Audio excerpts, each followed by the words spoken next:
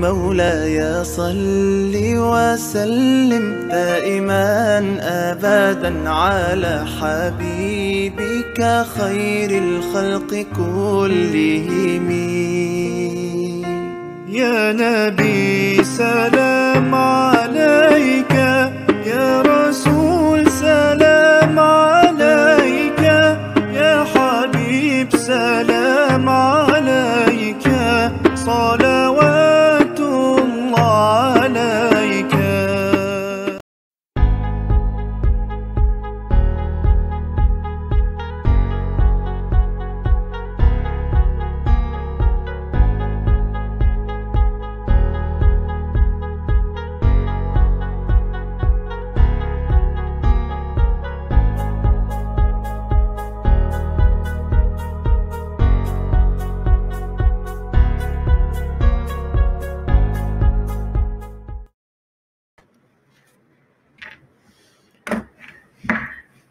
Assalamualaikum warahmatullahi wabarakatuh. Alhamdulillahirabbil alamin wassalatu wassalamu ala asyrafil anbiya'i wal mursalin wa ala alihi wa ashabihi ajma'in. Alhamdulillah syukur kita kepada Allah Subhanahu wa taala kerana telah mempertemukan kita pada petang ini untuk meneruskan lagi uh, program-program buah bicara maya iaitu berkaitan dengan sempena iaitu bersempena dengan sambutan Hari Wanita 2021 yang dianjurkan oleh Yayasan Dakwah Islamiyah Malaysia. Yang kita mengadakan tiga hari program 8, 9 dan 10 Mac 2021 ya. Uh, saya mengalung-alungkan kehadiran dan uh, partisipasi uh, kepada rakan-rakan di di luar sana sebagai penonton pada rancangan ini dan kita men, kita hari ini berada pada hari kedua sambutan Hari Wanita 2021 ini ya. Kita uh, sambutan Hari Wanita ini pada kita orang semua kaum wanita ini berasa gembira untuk menyambut hari ini kerana Hari Wanita ini kerana pada saya ia adalah penting untuk men- menyatakan tentang pengiktirafan terhadap wanita itu sendiri uh, sebagai uh, kumpulan ataupun suatu kelompok masyarakat yang begitu penting untuk negara dan jadi mengambil pendekatan untuk membuat hari wanita ini untuk menyambut hari wanita yang bersempena juga dengan hari wanita sedunia itu uh, menunjukkan bahawa uh, kesedaran kita uh, tentang kepentingan dan uh, kepentingan dan um, kedudukan wanita itu sendiri untuk kita raikan ya.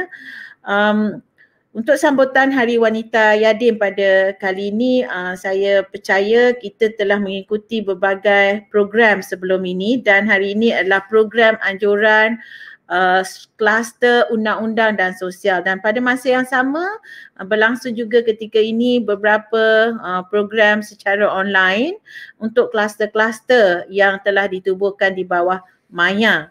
Maya ini merupakan uh, dinamakan Maya ini adalah Majlis Wanita Islam Yayasan Dakwah Islam Malaysia iaitu Yadim.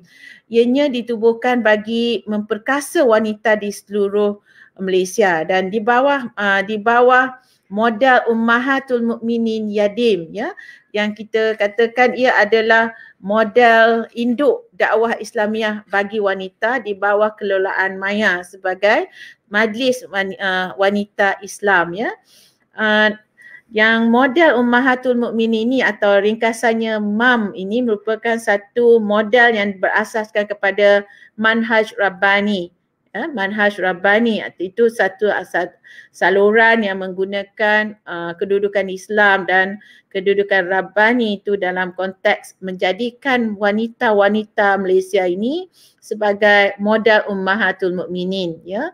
Seperti yang kita ketahui juga ummahatul mukminin ini merupakan role model ataupun merupakan satu contoh kepada kita uh, wanita-wanita Islam ya saya tidak mahu berpanjang lebar lagi tentang ini. Uh, saya mahu memperkenalkan uh, program anjuran kluster um, undang-undang dan sosial ini uh, dan kita ada beberapa segmen dalam uh, dalam dalam perjalanan uh, bicara, buah bicara kita pada petang ini. Segmen pertama kita akan mendengar rakaman uh, kita membuat dua bentuk uh, dalam rakaman dan juga panel di studio uh, bukan di studio lah di rumah masing-masing atau di tempat kerja masing-masing yang kita ada dua segmen tadi. Uh, sekarang kita akan memulakan dengan segmen yang pertama iaitu secara rakaman. Saya mengucapkan tahniah dan terima kasih kepada jawatan kuasa uh, kluster undang-undang yang diketuai oleh um, oleh saya panggil Cik Mar eh, uh, Puan Mar Mardia eh, yang menjadi uh, yang yang menjadi tulang belakang kepada anjuran penganjuran kluster undang-undang dan sosial ini anjuran buat bicara kluster undang-undang dan sosial ini ya. Jadi pada segmen pertama ini kita ada dua orang tetamu jemputan yang telah dirakamkan pandangan mereka iaitu pertama Dr. Nurul Nadia binti Ismail iaitu uh, Dr. Nurul Dania ini merupakan pakar dan ketua Jabatan Psikiatri Hospital Kulim Kedah ya. Dan yang keduanya kita akan ada rakaman daripada Tuan Ridha Abdah Subri iaitu seorang peguam bela dan peguam cara yang juga merangkap setiap usaha agung Persatuan Peguam-Peguam Muslim Malaysia. Sekarang kita saksikan uh, pandangan uh, kedua-dua panel yang kita telah rakamkan pandangan mereka ini dengan uh, tajuk yang kita bawa kepada buah bicara kita ini iaitu kemurungan dan keupayaan minda pasangan kesan ke atas kelangsungan institusi keluarga.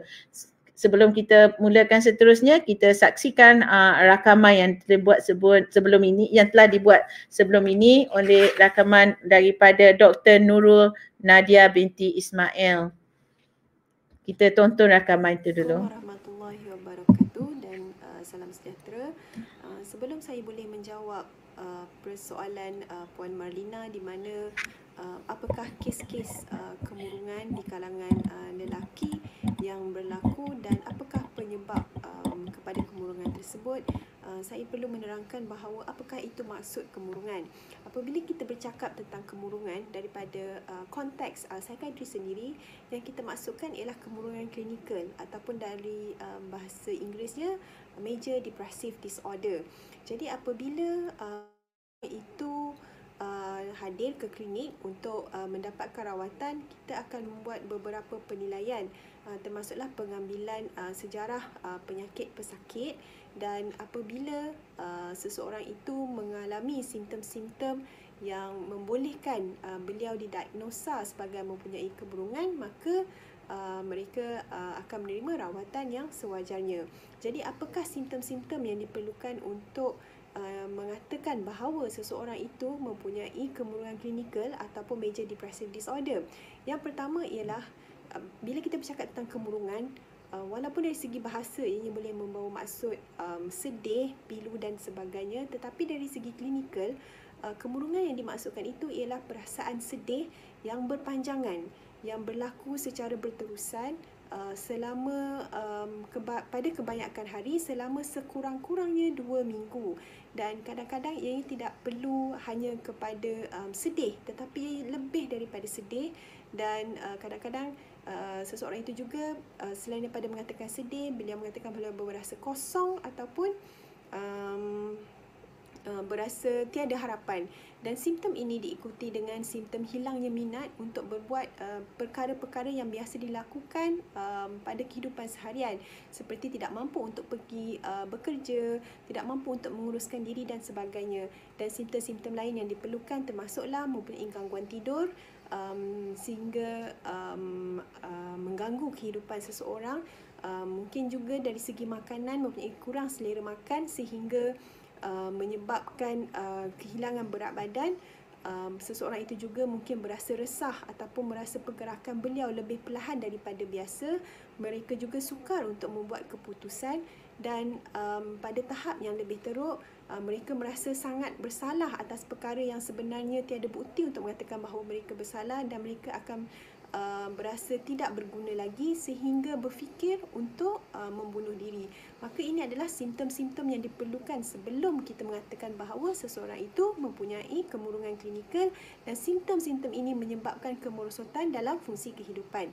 Jadi kes-kes yang biasa saya um, uh, hadapi di klinik uh, apabila uh, seseorang um, suami um, hadir ke klinik ialah pada kebanyakan masa si isteri akan mengatakan bahawa suami uh, mempunyai perubahan dari segi kelakuannya yang biasa dan suami biasanya akan kelihatan sama ada cepat marah ataupun um, lebih uh, cepat untuk uh, berkelakuan agresif ataupun mungkin mengamuk ataupun mungkin mencerca dan pada masa yang sama um, suami tadi itu juga seperti menjauhkan diri daripada isteri, anak-anak dan sebagainya.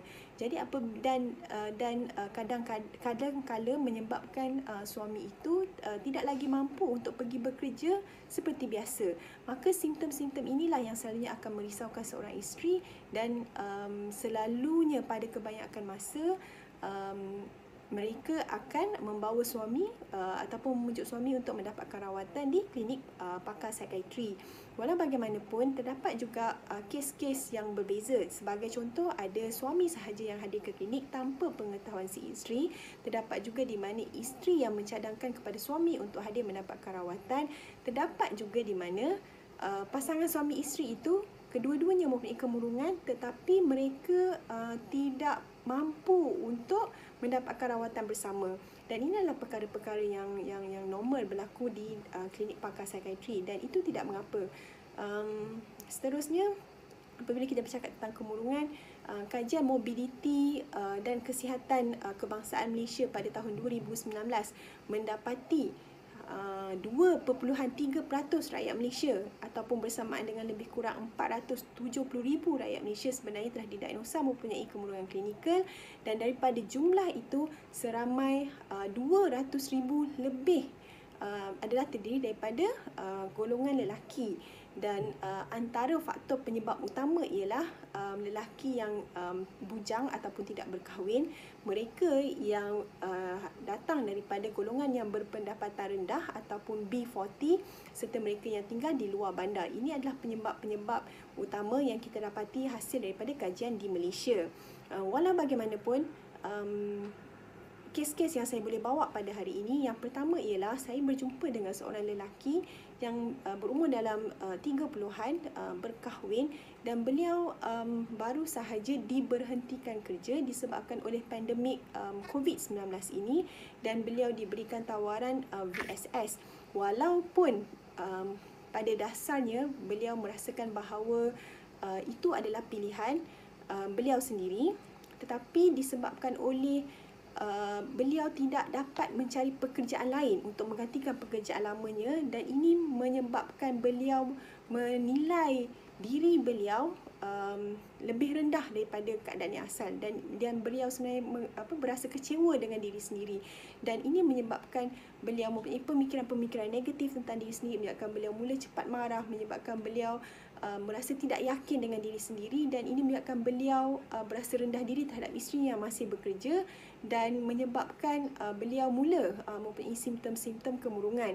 Walau bagaimanapun dalam kes ini um, ia, ianya agak sukar untuk um, suami ini atau lelaki ini mengakui simptom-simptom tersebut uh, sehinggalah saya berjumpa dengan beliau dan uh, bertanya tentang simptom-simptom yang Uh, bukan tipikal uh, simptom-simptom kemurungan. Sebagai contoh bagi lelaki apabila mereka mempunyai kemurungan kemungkinan kita tidak akan mendengar mereka berasa sedih ataupun mengadu tentang perasaan mereka yang pilu dan sebagainya. Tetapi kita boleh melihat dari segi kelakuan yang berubah. Sebagai contoh jika dahulu dia seorang yang penyabar maka mereka akan menjadi kita akan nampak lihat mereka menjadi seorang yang lebih uh, cepat marah mereka akan lebih suka untuk menyendiri mereka akan fokus kepada benda-benda yang di luar daripada tanggungjawab mereka dan mereka juga uh, mempunyai risiko yang tinggi untuk um, apa ni merokok. Sebagai contoh kalau mereka seorang perokok merokok dengan lebih banyak. Jika mereka uh, minum arak maka mereka akan minum arak lebih daripada biasa. Ataupun uh, pada keadaan-keadaan yang selalu kita hadapi di klinik mereka mula melibatkan diri dalam penyalahgunaan dadah terutamanya dadah dari segi uh, amfetamin ataupun uh, methamphetamine um, dan juga ketum. Uh, itu adalah antara uh, contoh yang saya boleh berikan. Contoh yang kedua ialah seorang uh, lelaki juga pada um, awal tahun 40-an sudah berkahwin. Uh, walau bagaimanapun, um, apa yang menarik tentang cerita ini ialah uh, beliau sebenarnya uh, seorang bekas gay dan beliau telah uh, dikahwinkan ataupun dikenalkan dengan wanita yang sekarang ini isteri dia oleh kaum keluarga. Dan disebabkan oleh pegangan agama yang masih kukuh beliau merasakan bahawa beliau ingin mulakan hidup baru dan bersetuju untuk berkahwin. Dan sememangnya selepas berkahwin beliau cuba untuk kembali kepada fitrah yang asal. Walau bagaimanapun uh, setelah berkahwin isteri ini mengetahui tentang aktiviti uh, suaminya pada ketika dahulu dan isteri ini berasa tertipu atas perkahwinan ini. Maka konflik telah mula berlaku dan walaupun mereka tidak berfikir untuk bercerai tetapi apabila berlaku sesuatu maka isteri ini akan mula mengungkit kisah hidupnya yang lama. Dan ini menyebabkan lelaki ini sentiasa berasa tertekan, berasa rendah diri, berasa tidak dihormati dan um, ini menyebabkan beliau mula mempunyai risiko kemurungan um, Alhamdulillah uh, beliau masih lagi hadir untuk mendapatkan uh, bantuan uh, rawatan dari segi uh, psikoterapi. Um, seterusnya, uh, contoh yang ketiga yang saya boleh bawakan ialah um, kes seorang uh, lelaki uh, yang berkahwin uh, dan uh, beliau masih lagi bekerja namun uh, disebabkan oleh uh, isterinya juga bekerja dan mereka uh, mempunyai hubungan PJJ ataupun hubungan uh, perhubungan jarak jauh dan uh, ini menyebabkan um, si isteri tadi mempunyai hubungan luar dengan lelaki lain. Jadi apabila beliau mendapat tahu uh, perkara ini daripada seorang kawannya yang lain, beliau tidak dapat menceraikan isterinya kerana memikirkan tentang anak-anak tapi pada masa yang sama beliau mula menyalahkan diri sendiri uh, beliau merasakan bahawa jika jika beliau um, tidak uh, da, da, bi, bi, jika beliau dapat mendidik isteri dengan lebih yang dengan lebih baik maka uh, beliau boleh uh, mungkin isteri beliau tidak akan membuat sedemikian dan perasaan yang bersalah terhadap anak-anak dan tekanan di tempat kerja juga menyebabkan beliau uh, mempunyai risiko untuk uh, uh, mempunyai kemurungan. Maka ini adalah kes-kes yang saya boleh bawakan pada uh, kali ini. Sekian, terima kasih. Um, ya, walaupun Dr. Nadia tidak ada bersama kita pada panel ini, kita mengucapkan terima kasih atas uh, kesudian doktor untuk Nurul Nadia Nurul Nadia untuk berkongsi dengan kita ya uh, dalam hal berkaitan dengan uh, kemurungan dalam sebuah perkahwinan ya dan keupayaan um, pasangan itu untuk meneruskan perkahwinan contohnya um, bagaimana pandangan seorang doktor ataupun pengalaman doktor itu menunjukkan pelbagai sebab dan pelbagai sebab kepada kemurungan itu. Dan yang pastinya kemurungan itu adalah suatu subjek yang real, satu perkara yang real sedang berlaku dalam masyarakat kita dan kemurungan kemurungan yang dimaksudkan itu lebih kepada yang dibentangkan oleh Dr. Nurul tadi, Nurul Nadia tadi, lebih kepada kemurungan uh, kaum lelaki dalam perkahwinan dan uh, juga disebut bahawa Terdapat juga lelaki yang tidak berkahwin juga mengalami mengalami kemurungan. Tapi dalam konteks kita hmm, pada hari ini kita merujuk kepada uh, kemurungan uh, pasangan dalam sebuah perkahwinan itu ya. Jadi uh, apa yang dibentangkan itu saya mendapat uh, kesedaran bahawa uh, perkara ini sangat serius dan telah berlaku dan sedang berlaku dan dengan jumlah 200 ribu uh, 200 ribu lelaki yang bes, apa mengalami kekeliruan mengalami kemurungan ini adalah suatu yang sangat pada saya ia boleh menjadi satu uh, perkara yang lebih serius kiranya tidak ditangani dengan baik ya dan kita ada seperti yang Dr. Nurul sebut tadi 2.3% tapi daripada rakyat kita ni mengalami kemurungan iaitu hampir setengah juta ya 470 ribu dan pokok pangkalnya ialah dalam sebuah perkahwinan itu faktor keuangan juga menjadi sebab uh, kepada kemurungan ya uh, kerana mungkin kehilangan pekerjaan dan berasa rendah diri akibat daripada uh, faktor keuangan tadi. Uh, jadi saya fikir ini adalah perkara yang asas dan mendasar yang sedang berlaku dalam masyarakat kita yang menyebabkan uh, pada masa uh, pada asalnya uh, tajuk ini dipilih oleh uh, kluster undang-undang atas cadangan uh, atas cadangan ahli-ahli kluster ini untuk kita membincangkan dengan secara lebih lanjut. Okey, dari itu kita juga memahami tentang definisi berkaitan dengan kemurungan daripada Dr. Uh, Nurul Nadia tadi.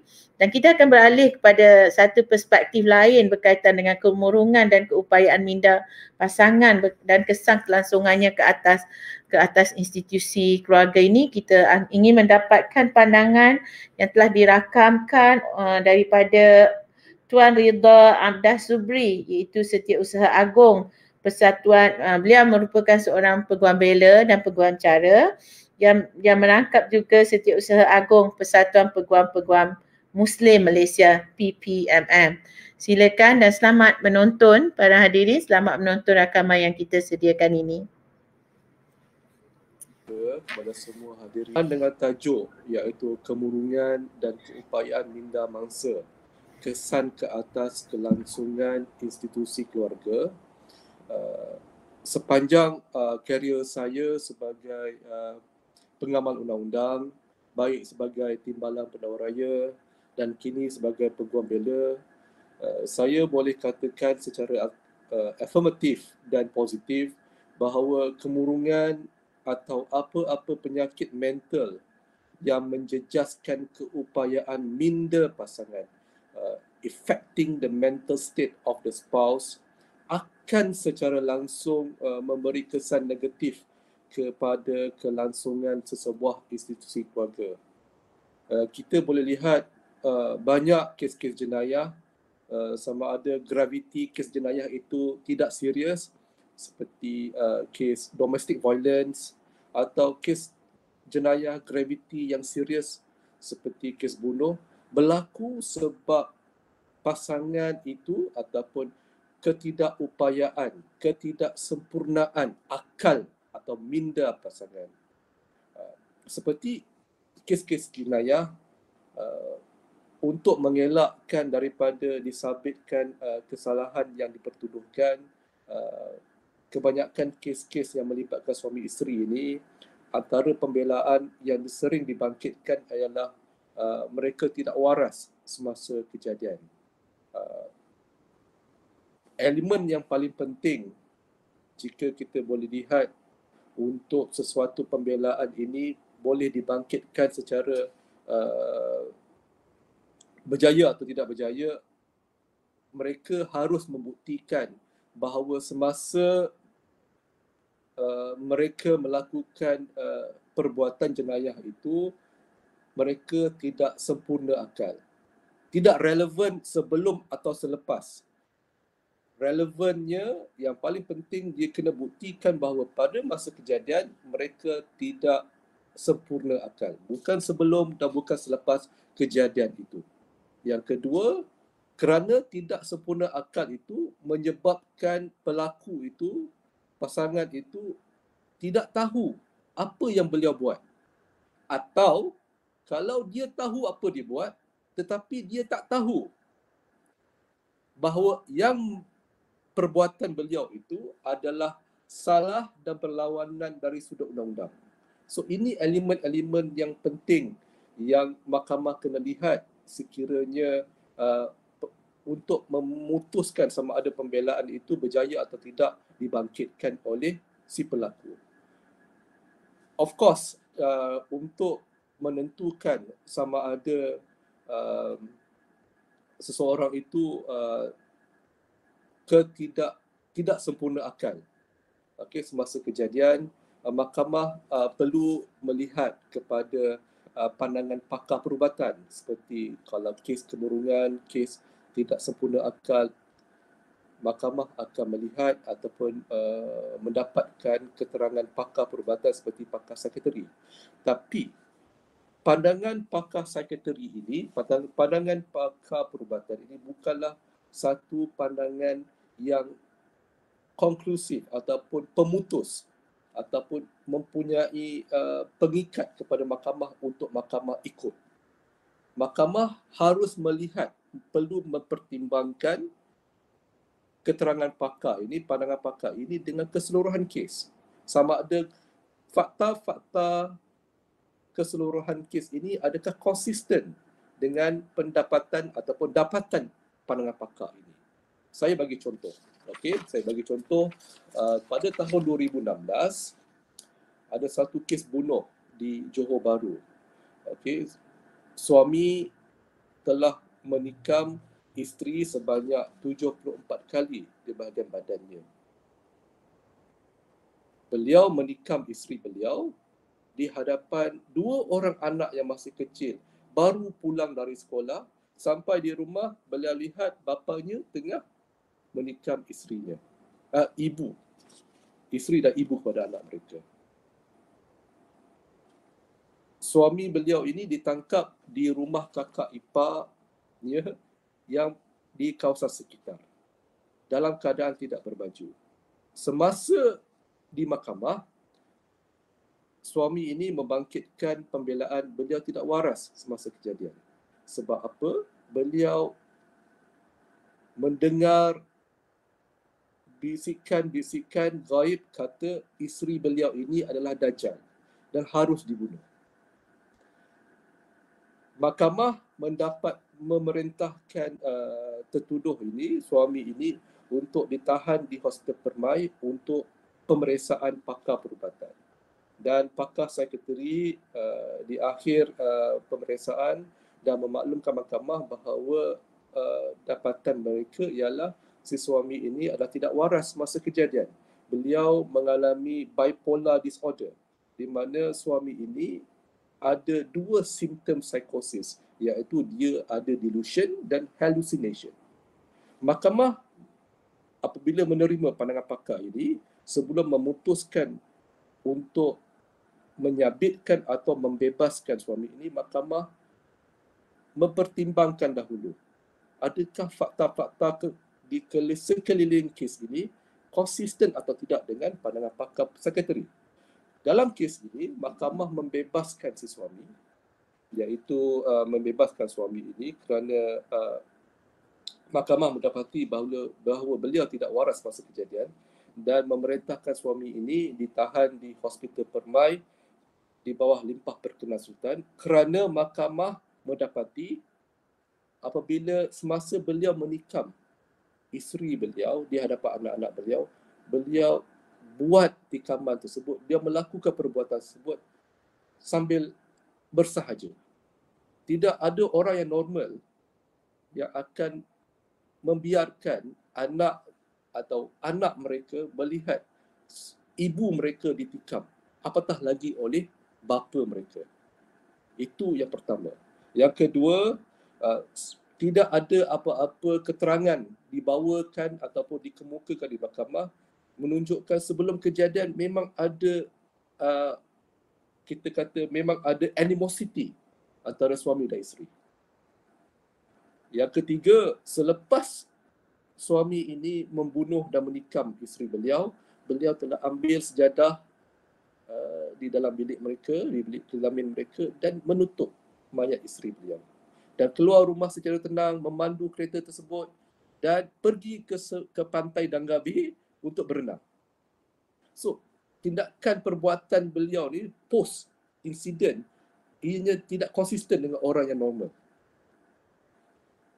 Dan berdasarkan rekod perubatan juga, mahkamah dapati bahawa beliau suami ini pernah tiga kali di uh, dihantar ke hospital uh, psychiatry kerana ter- beliau uh, kerana beliau sebelum ini telah kena kena beliau uh, uh, ran amok.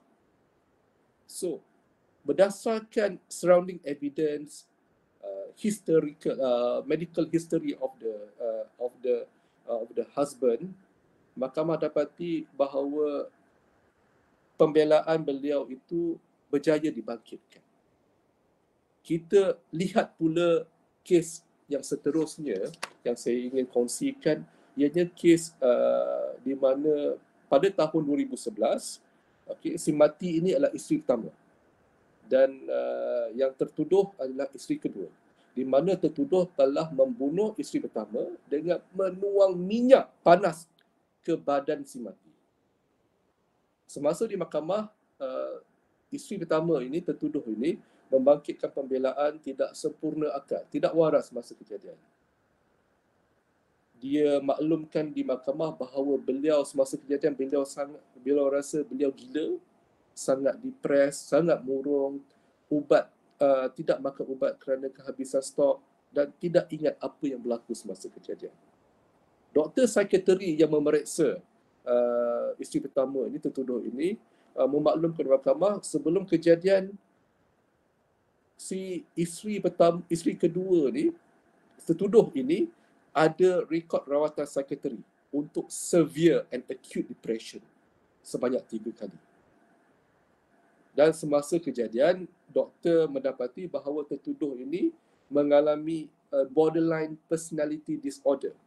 Bermaksud uh, tertuduh ini mempunyai emotional uh, emotionally unstable and impulsive. Disebabkan uh, ini beliau tidak mengetahui kesan dan akibat perbuatan beliau menuang minyak panas terhadap si mati ini iaitu isteri yang pertama. Mahkamah dalam mempertimbangkan uh, keterangan sekretari ini, pakar perubatan ini, mahkamah telah mengambil kira keseluruhan fakta kes. Dan dalam kes ini, mahkamah bertindak tidak membebaskan isteri pertama uh, isteri kedua ini tertuduh ini sebaliknya mahkamah menyabitkan beliau dengan kes dengan pertuduhan iaitu untuk kesalahan bunuh kerana pertama berdasarkan fakta kes selepas beliau sebelum beliau tuang okey sebelum beliau tuang minyak panas terhadap uh, si mati ini tertuduh ada berjumpa dengan anak si mati bertanyakan di manakah suami mereka. Di sini menunjukkan ada criminal design criminal uh, plan by the accused person. Yang kedua tindakan beliau uh, bersusah payah untuk uh, memasak minyak di dapur menggunakan uh, uh, menggunakan uh, uh, rice cooker menunjukkan beliau ada criminal preparations towards the commission of the crime yang ketiga, tindakan beliau membuang ataupun menuang minyak itu fokusnya pada bahagian kepala, bukan bahagian kaki, bahagian kepala. Menunjukkan memang sememang-memangnya beliau berniat untuk memaksimumkan kecederaan terhadap isteri yang pertama itu.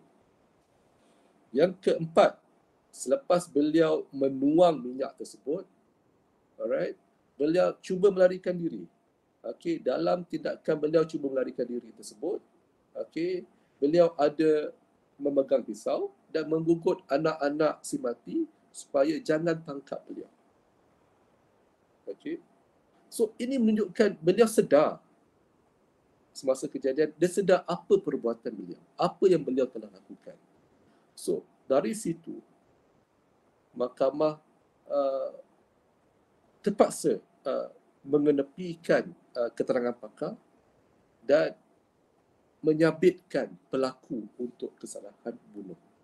So, ya, boleh saya katakan di pada peringkat ini sama ada uh,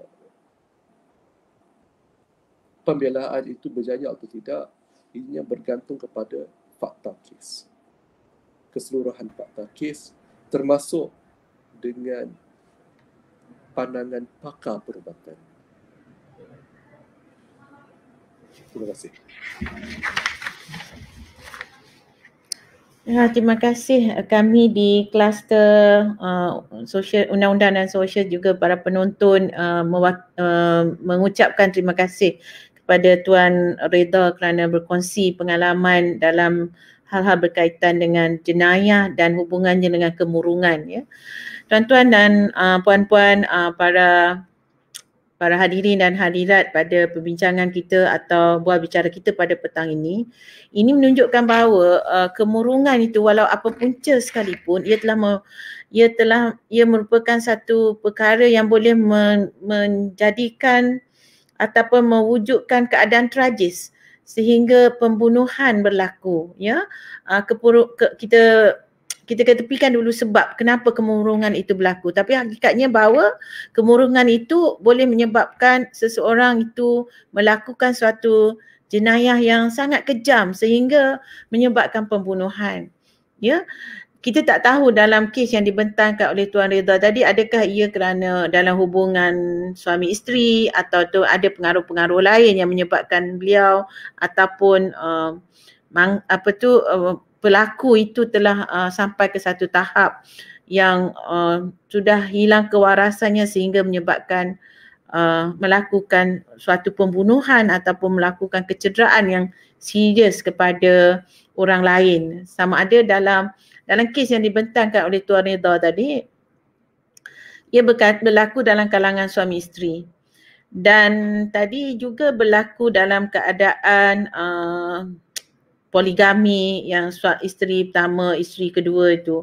Jadi ini juga adalah suatu keadaan yang perlu kita ambil perhatian uh, bagaimana berlakunya kemurungan uh, dalam kalangan uh, pasangan itu telah menyebabkan boleh melakukan keadaan yang tragis. Tapi apa yang apa yang di di di dibentangkan oleh Tuan Reza tadi juga uh, menunjukkan bahawa uh, ada kalanya kemurungan itu tidak menjadi uh, apa halangan untuk hukuman. Maknanya seperti yang dibentangkan oleh Tuan Reda bila pergi ke mahkamah, mahkamah lah yang mempunyai mempunyai kuasa untuk menentukan uh, sama ada keadaan atau seseorang yang di dalam keadaan seseorang itu dituduh dituduh sebagai melakukan jenayah itu uh, dan meminggirkan pandangan pakar.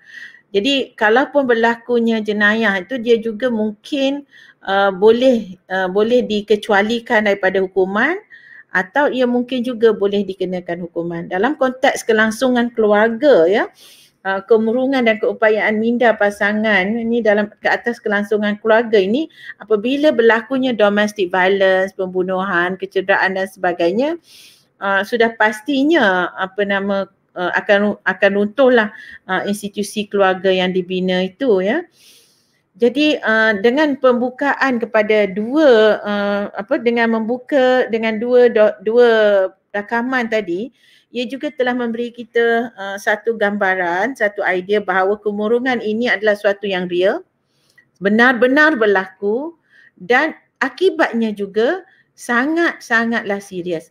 Jadi uh, saya sebagai moderator pada petang ini juga mengucapkan terima kasih lah kepada Profesor Datuk Dr. Nur Inayah Yaakob yang sebenarnya orang pertama yang mencadangkan uh, cadangan, memberikan cadangan untuk kita memilih tajuk ini ya. Jadi di sini Datuk Dr. Inayah Yaakob merupakan salah seorang daripada panel kita pada petang ini. Um, Datuk Profesor Datuk Dr. merupakan uh, Ketua Pegawai Eksekutif College uh, Professional Baitumal yang kita alu-alukan kehadiran Profesor Datuk Doktor untuk berkongsi pandangan pada petang ini ya. Dan uh, untuk berkongsi juga kita ada Puan Hajah Nur Hadina Ahmad Zabidi. Uh, beliau merupakan uh, pengarah dan juga ketua pendakwa syar'i Jabatan Pendakwaan Syariah wilayah persekutuan. Banyak pengalaman dalam pentadbiran kehakiman dan juga sekarang ketua pendakwa syar'i dan kita akan mendengar pandangan-pandangan berkaitan dengan undang-undang syariah ya. Yang ketiganya kita ada Dr. Uh, Jamilah Hanum Abdul Qayyum iaitu penolong profesor Jabatan Psikologi Kuliah Ilmu Pengetahuan kuliah ilmu pengetahuan ilmu wahyu, kuliah ilmu wahyu dan sains kemanusiaan Universiti Islam Antarabangsa Malaysia ya. Panel panel yang keempat iaitu Dr. Raja Kamariah Raja Muhammad Khalid, uh, pengarah pada bahagian psikologi Jabatan Pembangunan Wanita Kementerian Pembangunan wanita, keluarga dan masyarakat. Tuan-tuan, para hadirin yang saya hormati sekalian, saya fikir seminar yang kita apa sambutan Hari Wanita ini telah merangkum uh, pelbagai dimensi yang kita ada dalam kumpulan kita ini adalah berkaitan perundangan dan sosial. Jadi sebab itulah panel-panel kita ini kita ambil daripada mereka yang berpengetahuan dalam hal-hal berkaitan undang-undang dan sosial ya. Dari sini um, Profesor uh, Datuk Dr. Nur Inayah Yaakob ni tidak asing lagi sebagai uh, seorang akademik yang juga mempunyai pengetahuan tinggi dalam perundangan syariah juga. Kita uh, saya dari dalam mengendalikan uh, apa forum ini atau perbincangan pada ini uh, pada petang ini uh, panel-panel yang saya hormati sekalian uh, kita ada tiga tiga pusingan. Tapi mungkin persoalan-persoalan itu saya mungkin kaitkan antara satu sama lain supaya kita boleh memahami membantu para penonton kita memahami uh, konsep atau isu-isu yang kita bawa ni secara sekata ya. Sama ada dalam undang-undang ataupun dalam sosial dan sama ada dari pendekatan Islam sebagai sebagaimana yang mahu dibawa, dibawa oleh Maya dan juga pendekatan dalam um, aspek-aspek sosial dalam negara kita ini ya sekarang saya mengikut susunan lah kan? saya pergi kepada profesor susunan yang kita buat awal dari segi konten sebenarnya apa yang kita nak tahu ni mengikut panel-panel dan kepakaran mereka pertama saya pergi kepada profesor Datuk Dr. Inayah ha? kita alu-alukan profesor Datuk Dr. untuk memberikan kita pandangan dan juga pengetahuan tentang hubungan suami isteri itu. Jadi konotasi hubungan suami isteri itu ada apabila berhubungan ini dia adakah ia satu penyatuan antara seorang lelaki dengan wanita itu dalam aspek yang lebih mudah? Ataupun dalam aspek sosial semata-mata? Atau adakah ia mempunyai elemen-elemen uh, berkaitan dengan dalam konotasi hubungan suami isteri itu adakah dia mempunyai elemen-elemen yang menyebabkan peranan undang-undang juga penting ya. Jadi persoalannya ialah adakah ia so, so, hubungan sosial semata-mata atau juga melibatkan perundangan kerana apabila kita mengaitkan persoalan ini dengan tajuk ke, kemurungan dan keupayaan minda pasangan itu. Adakah kemurungan berlaku dalam hubungan itu menyebabkan timbulnya isu perundangan dan juga uh, hal-hal yang berkaitan hal-hal lain berkaitan dengan suami isteri itu. Saya mohon uh, pandangan Profesor Datuk Dr. Nur Inayah. Terima kasih uh, Prof Datuk Dr. Syamul Rahayu Abdul Aziz. Saya mengambil kesempatan mengucapkan setinggi tahniah kepada Prof Datuk Syamul Rahayu di atas pelantikan penyandang kursi pertama wanita lah. Terima kasih Institut Raja-Raja Melayu. Uh, semoga terus berjuang untuk agama dan negara insyaAllah. Jadi uh, seperti yang Prof Datuk Syam sebut tadi, pada perbincangan awal kita mengenai tajuk ini sebenarnya saya ingin menarik sesuatu berkenaan dengan sebelum berlaku kemurungan terhadap perhubungan suami isteri. Kerana dari sudut undang-undang sivil Uh, saya mula dengan undang sivil dulu. Rupanya ada satu perkaitan berkenaan hubungan di antara suami isteri ini dalam sesuatu kategori, ya. Undang-undang melihat sekiranya ada uh, benchmarking ya berkenaan dengan sejauh mana berlakunya keyakinan sejauh mana kita uh, memberikan kepercayaan dan keintiman perhubungan itu bermaksud berapa lama kita berhubungan dengan seseorang undang-undang melihat ada satu kategori yang dinamakan perhubungan pengaruh tidak wajar secara tersirat.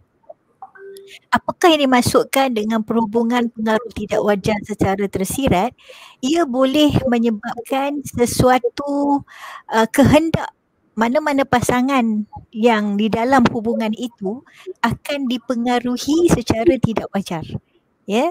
uh, maknanya selama ni kita nampak aspek kemurungan macam tadi tuan Ridha dan Dr Nurul bagi tahu dari perspektif masing-masing dan ada proven fact tentang kes-kes mahkamah tetapi sebenarnya di negara-negara luar sudah ada satu uh, division of court sekiranya menyebabkan mana-mana hubungan yang ada kategori pengaruh tidak wajar secara tersirat pakar psikologi, pakar neuro akan berganding bahu bersama pakar undang-undang.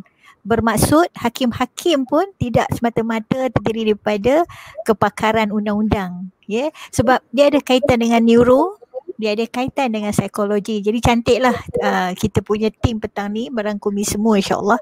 Jadi bila kita memahami sekiranya sesuatu hubungan itu mengandungi elemen kepercayaan sepenuhnya dan juga hubungan yang lama, trust and confidence, pasti akan berlaku sesuatu tindakan, sesuatu pemikiran yang menyebabkan kapasiti minda itu tidak didasari dengan sukarela.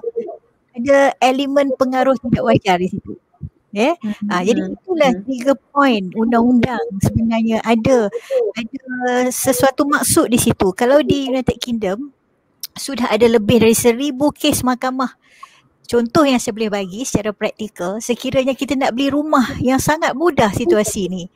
Isteri selalunya akan mengikut suami ke bank, berjumpa dengan pengurus bank, akan membuat pinjaman bank, kadang-kadang rumah satu-satunya rumah itu isteri akan menjadi surety lah ataupun yang sanggup memberikan apa saja supaya suami dapat meminjam. Berlaku juga sebaliknya. Tidak semata-mata konotasi hubungan ini uh, isteri yang tidak ada mental capacity untuk membuat uh, keputusan secara sukarela. Ia boleh berlaku kepada suami juga. Okay. Walaupun mahkamah telah memutuskan uh, peringkat yang tertinggi di di House of Lords, walaupun isteri itu mempunyai education yang tinggi, contoh dibaik, diberikan uh, seorang accountant, masih tertakluk kepada pengaruh tidak wajar oleh suami. Okay. Inilah menunjukkan sebenarnya di mana mental capacity itu yang boleh kita ketengahkan dalam masyarakat.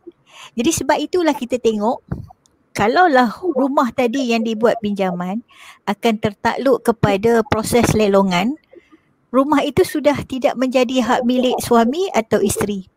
Jadi yang masalah akan timbul pula kemurungan ialah tidak ada penginapan. Di situlah berlaku aspek-aspek jenayah yang seterusnya. So daripada awal saya bagi contoh lagi hubungan-hubungan yang boleh berlaku pengaruh tak wajar ni yang boleh akhirnya membawa kepada ketidaklangsungan institusi sesebuah institusi. Contohnya uh, spiritual advisor dia seorang yang kalau kita nak kata sini orang yang ada pengaruh sebab dia ahli dalam agama Islam contohnya. Ada pengikut dia maka itu pun boleh tertakluk kepada hubungan yang boleh membawa pengaruh yang tidak wajar. Kemudian peguam dengan klien, doktor dan pesakit contohnya. Dan yang terbaru diputuskan kalau anak perempuan, uh, sorry, cucu perempuan dengan datuk lelaki. Maknanya datuk lelaki tu dia boleh dipengaruhi secara minda okay, brain capacity untuk membuat keputusan yang tidak secara sukarela sebab ada faktor pengaruh tidak wajar. Jadi kalau dia nak bagi wasiat, dia nak bagi apa-apa disposition of property akan berlaku berbunuhan lah lepas tu sebab sudah dikesan membuat uh, will dengan cara tidak sukarela. Yeah? Dan juga cucu lelaki dengan nenek perempuan. Dia hubungan-hubungan yang yang ada elemen confidence and trust. Bank manager yang kita kenal dah 10 tahun, dia minta kita masuk investment pun ada uh, hubungan pengaruh tidak wajar secara tersirat. Jadi uh, Prof Datuk Syam daripada aspek trigger yang pertama inilah yang kita selalu uh, mungkin kita kita tak perasan. Sebab kalau dalam perkahwinan kita tahu Islam membawa perkahwinan itu sebagai musyarakah, is a partnership ya yeah? bermaksud kita bertuntaskan kepada ajaran Islam sunnah Nabi sallallahu alaihi wasallam dan menjauhi zina dan sebagainya macam kita tengok 74 kali tikam depan anak-anak tu sesuatu yang tak boleh terima akal lah.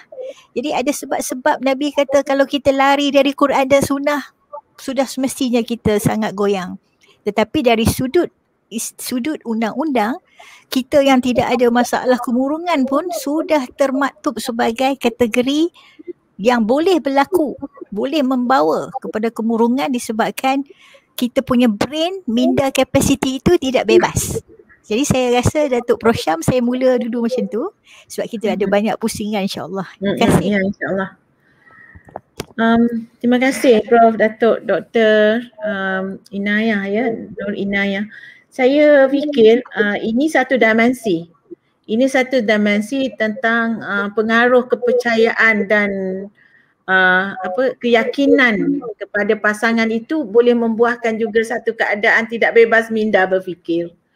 Walaupun dia bukan terjun ada dia seolah-olah dia bukan dalam uh, dalam faktor kemurungan tapi keupayaan minda tu dalam konteks itu maknanya uh, kalau kalau saya silap sikit kefahaman saya ni Datuk tolong jelaskan lah ya. Jadi yang saya faham ialah dalam hubungan suami isterinya tersirat di sebalik hubungan itu adalah kepercayaan dan uh, keyakinan kepada pasangan dan ini juga akan membuahkan satu keadaan di mana di mana pasangan itu meletakkan kepercayaan sepenuhnya sehingga tidak ada satu ruang untuk menjadi pengkritik kepada ke- keyakinan itu. Ya. Adakah ini kerana kasih sayang yang melampau dan sebagainya kita bincang selepas ini juga ya. Kerana kasih sayang melampau yang sampai tak tak percaya bahawa adanya elemen-elemen di luar fikiran atau kata tak tercapai akal uh, satu, satu sebelah pasangan itu. Menarik perkara ini sebab saya ni sebenarnya kalau bercakap tentang uh, hubungan antara suami, isteri dan juga pasangan ini adalah sesuatu yang sentiasa orang kata apa dia tidak ada sifat yang tetap ya. Macam mana untuk kita menilai hubungan suami dan isteri ini. Baik rakan-rakan dan uh, tuan-tuan dan puan-puan uh, para hadirin uh, yang melayari siaran bicara kita pada petang ini um, saya fikir kita pergi kepada uh, panel kita yang kedua itu iaitu Puan Hajah uh, Nur Hadina Ahmad Zabidi ya yang merupakan um, pengarah Jabatan Pendakwaan Syariah Wilayah Persekutuan dan juga Ketua Pendakwa Syar'i. Tapi saya bila saya kenal uh, Puan Hajah ni dah lama saya tahu kepakaran beliau juga adalah berkaitan dengan undang-undang syariah itu yang lebih pentingnya secara konseptualnya. Kalau Datuk tadi menyebut ya Puan Hajah, kalau Datuk uh, Prof eh, Inayah menyebut tentang hubungan confidence atau kepercayaan dan keyakinan kepada pasangan itu dia juga uh, melihat bagaimana uh, undang-undang Islam. Saya kita memfokus kepada perundangan uh, keluarga Islam ya.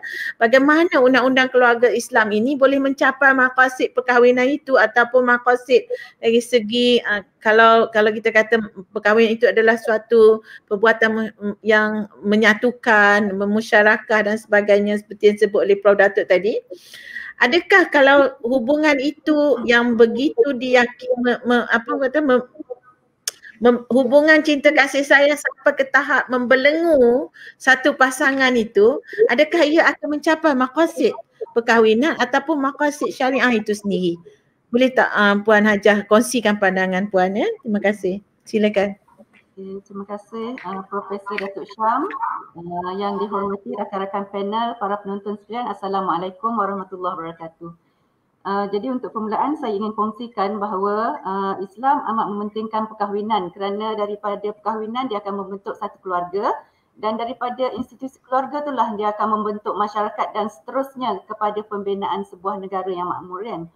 Uh, jadi um, dalam Islam perkahwinan tu bukanlah merupakan satu kontrak yang biasa tapi ia adalah merupakan uh, satu ikatan perjanjian uh, yang amat suci kan yang di yang dikategorikan sebagai misaqan ghaliza maknanya diambil sebagai satu amanah dan dipenuhi dengan tanggungjawab-tanggungjawab yang tertentulah uh, sama ada daripada usulnya ibu bapa sehinggalah yang ke bawahnya anak-anak cucu dan sebagainya ya. Uh, jadi untuk menjaga perkahwinan yang uh, baik ini Islam telah menggariskan beberapa panduan dan kita ada satu fik munakahat dalam hukum syarak uh, bagi memastikan supaya ikatan-ikatan perkahwinan dan kekeluargaan itu uh, dapat ditakbirkan secara sempurna. Jadi uh, secara uh, tuntasnya kalau nak katakan bagi memudahkannya uh, kita mematuhi semua garis panduan yang telah ditetapkan oleh syarak sebab itulah kita ada uh, peruntukan-peruntukan di dalam undang-undang yang telah disediakan oleh pihak berkuasa lah ya.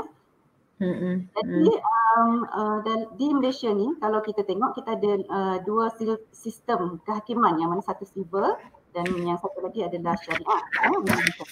Jadi undang-undang syariah ni adalah terpakai kepada semua orang Islam uh, dan uh, dengan bidang kuasa yang telah pun ditetapkanlah mengikut perlembagaan kita ya. Uh, jadi kalau kita ikutkan uh, kenapa perlunya kerajaan menyediakan undang-undang perkahwinan sedangkan ia telah pun sedia ada kan dalam hukum syarak. Uh, dari situ kita berbalik kepada uh, maqasid syariah yang diasaskan kepada prinsip untuk uh, mengajak kepada kebaikan dan mencegah kepada kemungkaran ya. Dari uh, jadi sebagai orang Islam kita adalah uh, bertanggungjawablah untuk mematuhi uh, undang-undang yang telah pun disiap uh, disediakan oleh kerajaan ini. Sebagaimana yang telah pun dinyatakan dalam uh, apa ni oleh Allah Subhanahu Wa Taala dalam firman-Nya ya. Atiullah wa atiur rasul wa ulil amri minkum.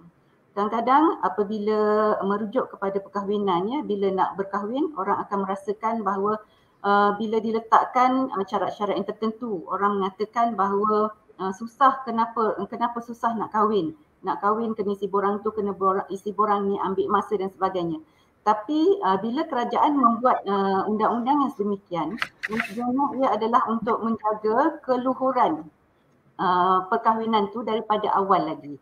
Ya? Uh, contohnya ya, uh, bila kita katakan uh, makosid syariah, ia adalah terbina untuk uh, menjaga lima teras utama iaitu menjaga agama, uh, menjaga nyawa, menjaga akal, uh, keturunan dan juga harta ya. Uh, so uh, bila melibatkan perkahwinan dia secara tak langsung dia akan melibatkan juga kepada kesucian uh, nasab ataupun keturunan yang akan datang kan. Jadi daripada awal lagi kerajaan dah pastikan bahawa perkahwinan yang hendak dilangsungkan itu adalah merupakan perkahwinan uh, yang sebetul-betulnya uh, dilaksanakan mengikut hukum syarak ya. Sebab kalau macam dulu kita lihat uh, apabila ada pihak-pihak yang melaksanakan perkahwinan tu tanpa kebenaran mahkamah tidak didaftarkan seperti, uh, seperti mana mengikut undang-undang kan. Orang ambil mudah orang kata mungkin boleh berkahwin di mana saja sebab perkahwinan tu kalau cukup syarat-syaratnya dengan saksi dan sebagainya ia adalah merupakan perkahwinan yang sah yang boleh diterima syarak tetapi kadang-kadang kita lupa ya apabila uh, kita ada masih ada wali lagi dan kita uh, apa ni melarikan diri daripada wali dan pergi ke satu tempat lain untuk bernikah secara wali hakim, di situ ada syarat-syarat yang uh, syarat peruntukan berkenaan dengan uh, kelayakan untuk bernikah dengan wali hakim dan kelayakan wali hakim itu sendiri. Dan uh, jika uh, wali hakim itu adalah merupakan wali hakim yang uh, bukan dilantik uh, mengikut apa ni peruntukan syarak, maka ia boleh menyebabkan perkahwinan itu adalah tidak sah daripada awal lagi. Dan jika perkahwinan itu tidak sah daripada awal lagi maka ia akan menyebabkan keturunan-keturunan kita nanti yang dilahirkan hasil daripada perkahwinan yang tidak sah itu uh, adalah apa ni merupakan satu keturunan yang tak sah lah dan ia boleh menjejaskan dari uh, pada segi hukum yang lain-lainnya seperti hukum yang melibatkan faraid, hukum uh, yang melibatkan nafkah dan sebagainya.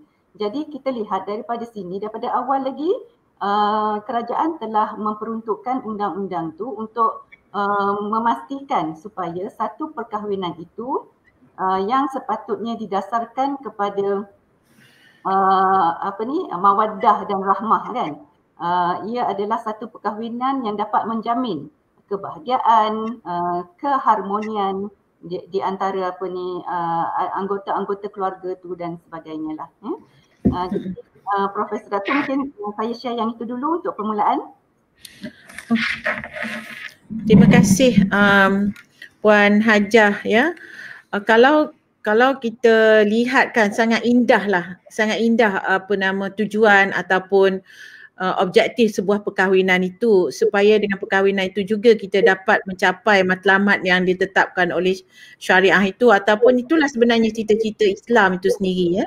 Untuk me, yang utamanya kalau perkahwinan itu dia mahu men, me, menjaga nasab itu maka nasab itu ada keturunan yang sempurna maka itu akan menjadikan manusia itu mempunyai keturunan yang sempurna dan manusia itu juga akan mendapat uh, kerahmatan daripada segala uh, ajaran-ajaran yang telah dibawa oleh Islam itu. Dan saya percaya uh, bukan sahaja agama Islam ya rakan-rakan dan para para penonton yang saya hormati sekalian bukan sahaja agama Islam yang mengharapkan perkahwinan yang bahagia perkahwinan yang mempunyai mawadah yang apa uh, mawadah dan rahmah itu ya. Uh, yang kalau kita kata siapa yang menentukan uh, berjayanya sebuah uh, masyarakat itu adalah sebuah perkahwinan lah. Maknanya dari asal perkahwinan itu yang membentuk institusi keluarga yang kemudiannya membentuk individu-individu yang berkaitan dengan keluarga itu ya. Jadi kalaulah sekiranya lah ya sebuah perkahwinan itu tidak mencapai objektif perkahwinannya kan maka berlakulah rasa sedih, rasa kecewa ya. Dalam keadaan ini dia menyebabkan kemurungan. Jadi apa beza sebenarnya um, ya Dr. Jamilah eh apa beza sedih dengan murung ni? Ha, macam mana kalau kalau dalam konteks uh, kepakaran doktor lah yang berkaitan dengan uh, apa panggil berkaitan dengan clinical psychology lah kan. Uh, clinical psychology ni uh, saya rasa betul lah saya ni orang undang-undang dia tak pandai sangat lah istilah-istilah. Tapi I, I, I think is a psychology, apa clinical psychology yang berkaitan dengannya. Apa beza antara sedih dan murung ini? Maknanya kalau orang sedih itu adakah dia bermaksud murung ataupun uh, dalam murung itu mesti ada sedih? Uh, Okey, hmm. boleh boleh tak doktor kongsikan dengan para penonton dan uh, para peserta dalam berbicara kita ini? Silakan doktor. Okay. Uh, terima kasih Profesor Datuk Syam Rahayu. Betul tu Datuk Prof um, Clinical Psychology bahasa Inggerisnya Psikologi klinikal dalam bahasa Melayunya. Uh, dan saya juga mengambil peluang untuk mengucapkan tahniah kepada Yadim dan juga uh, terima kasih uh, kerana menjemput saya berserta dengan semua ahli-ahli panel hebat lain dan saya walaupun baru dua dua kali dua dua orang yang bercakap saya macam banyak nota yang saya dapat salin ni uh, Profesor Datuk. Saya pun banyak belajar. Okey, berbalik kepada uh, sedih dan murung. Uh, jadi apa bezanya?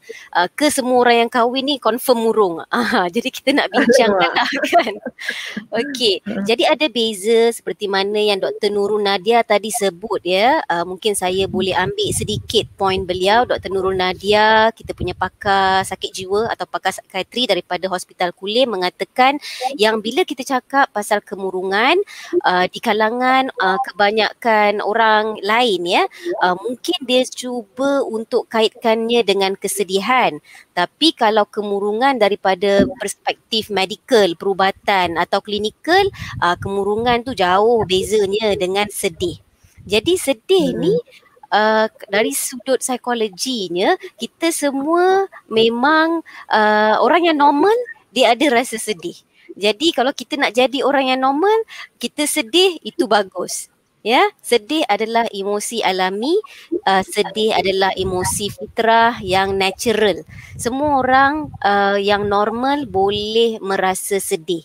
Dan sedih ni juga satu signal lah ya uh, petanda yang uh, pada ketika itu kita tengah berhiba kita tengah pilu uh, mungkin ada kematian dan sebagainya dan kalau uh, saya boleh kaitkan uh, sedih ni kalau kita suka tengok movie kan um, kalau sesiapa yang pernah tengok bersama dengan anak-anak atau pasangan uh, satu movie tajuk dia Inside Out Ya, sangat famous lah movie tu ya. Kalau tak pernah tengok, saya akan tengok.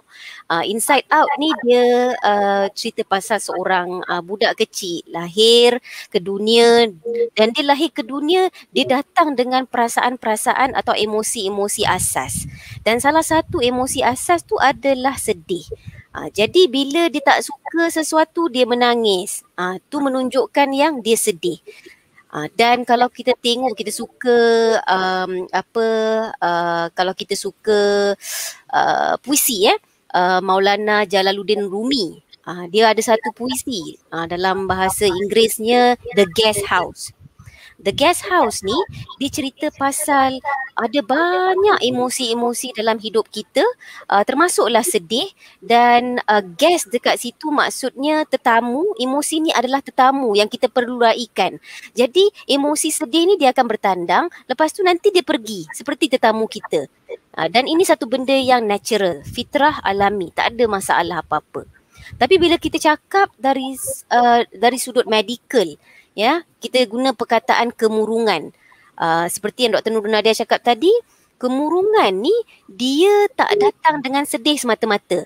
Uh, maksudnya uh, Profesor Datuk uh, memang dalam kemurungan ada sedih dan itu adalah simptom utama kemurungan. Uh, tapi sedih tu bukan uh, seka, uh, dalam masa beberapa jam dia sedih ataupun sehari dia sedih lepas tu dia dah tak sedih dah. Tak Kalau kemurungan yang klinikal, dia sedih berpanjangan. Hari-hari dia sedih, pagi, petang, siang, malam, besok, lusa, sampailah ke minggu depan, sampai ke minggu-minggu minggu depan lagi pun dia sedih. Ya, yeah? uh, selain daripada itu uh, dia pun uh, hilang minat nak buat benda-benda yang dia suka sebelum ni. Kalau dulu mm-hmm. suka berkebun sekarang tengok pokok pun dah tak nak. Ya, hilang minat benda-benda yang biasa. Kadang-kadang sampai hilang minat nak mandi pun ada. Uh, jadi itu di antara uh, simptom-simptom klinikal kemurungan. Uh, simptom-simptom klinikal kemurungan yang lain ya uh, adalah tiba-tiba uh, hilang berat badan ataupun naik berat badan. Uh, kalau hilang berat badan tu tak perlu diet pun tak ada pun usaha nak diet uh, diet tapi hilang berat badan uh, dan hmm. ada juga masalah tidur seperti yang Dr Nurul Nadia sebutkan uh, dalam masa yang sama dia sukar nak bagi perhatian, sukar nak buat keputusan. Uh, itu satu lagi simptom yang berkait rapat dengan perbincangan kita pada hari inilah. Dan kalau simptom tu uh, teruk, ekstrim ataupun uh, ialah severe kan, disampai ada rasa keinginan, ada rancangan uh, dan pernah bunuh buat uh, aktiviti nak bunuh diri. Uh, itu satu lagi simptom yang ekstrim. Uh, selain hmm. daripada itu, uh, kan, uh, seperti yang kita dah bing- kita dengar tadi, case tadi daripada dua pakar kita tadi, um, apa hmm. ada juga berkemungkinan orang yang kemurungan ni dia dapat halusinasi atau dilusi dengar benda-benda hmm. yang tak uh, yang tak nyata hmm. ya percaya benda-benda yang di luar realiti. Ah uh, itu adalah simptom-simptom. So bila kita kata penyakit ya Kemurungan ni hmm. satu penyakit. Penyakit tu didatang dengan simptom atau ciri-ciri atau kriteria-kriteria. Bila dia meet beberapa kriteria, bukan sedih semata-mata, maka dia akan dapat kemurungan klinikal. Ha, dan hmm. yang paling penting, hmm. dia jadi penyakit apabila dah ganggu fungsi hidup. Apa maksud fungsi hidup ni? Kalau dari segi aspek uh, kekeluargaan, dia uh, tak boleh berfungsi sebagai seorang suami, tak boleh berfungsi sebagai seorang isteri, tak boleh berfungsi sebagai seorang mak atau ayah. Dia hilang dia punya role dekat situ. Uh, dia tak buat tanggungjawab dia dan juga hilang fungsi sebagai pekerja juga. Ya, hmm. itu uh, yang membezakan sedih dan juga uh, kemurungan lah. Uh, saya hmm. rasa uh, saya tambah satu lagi kalau kita kata hmm. dari segi penyakit untuk orang perempuan. Tadi Dr. Nurul Nadia cakap orang lelaki kan. Untuk hmm. orang perempuan uh, apa kaum kita ni uh, ada dua uh, kemurungan yang sangat rapat dengan kita. Yang pertama kemurungan yang berkaitan dengan uh, apa ketika kita sedang mengandung dan selepas kita melahirkan. Orang panggil hmm. peripartum depression, ya. Yeah? Uh, uh, jadi uh, uh, ada juga yang sebut perkataan yang biasanya dalam masyarakat kita kata meroyan, ya. Yang kedua adalah kemurungan yang berkait rapat dengan uh, kitaran haid kita. Ah, itu kita hmm, panggil hmm, hmm. um, apa uh, premenstrual dysphoric hmm. disorder dalam bahasa Melayunya. Dia jadi okay. uh, sebelum kita menses. Ah, uh, ada banyak simptom-simptom, ya. Yeah? Uh, saya rasa di situ dulu uh, Profesor Datuk Syam Rahayu uh, mungkin kita akan tambah lagi lah lepas ni. Hmm, hmm, hmm. Terima kasih uh, Dr. Jamila. Um, saya baru faham sebenarnya. Saya percaya uh, banyak manfaat saya uh, dapat dari per, perbincangan ini ya. Dan uh, saya saya seronok umpama apa kata-kata doktor tadi lah sedih itu umpama tamu.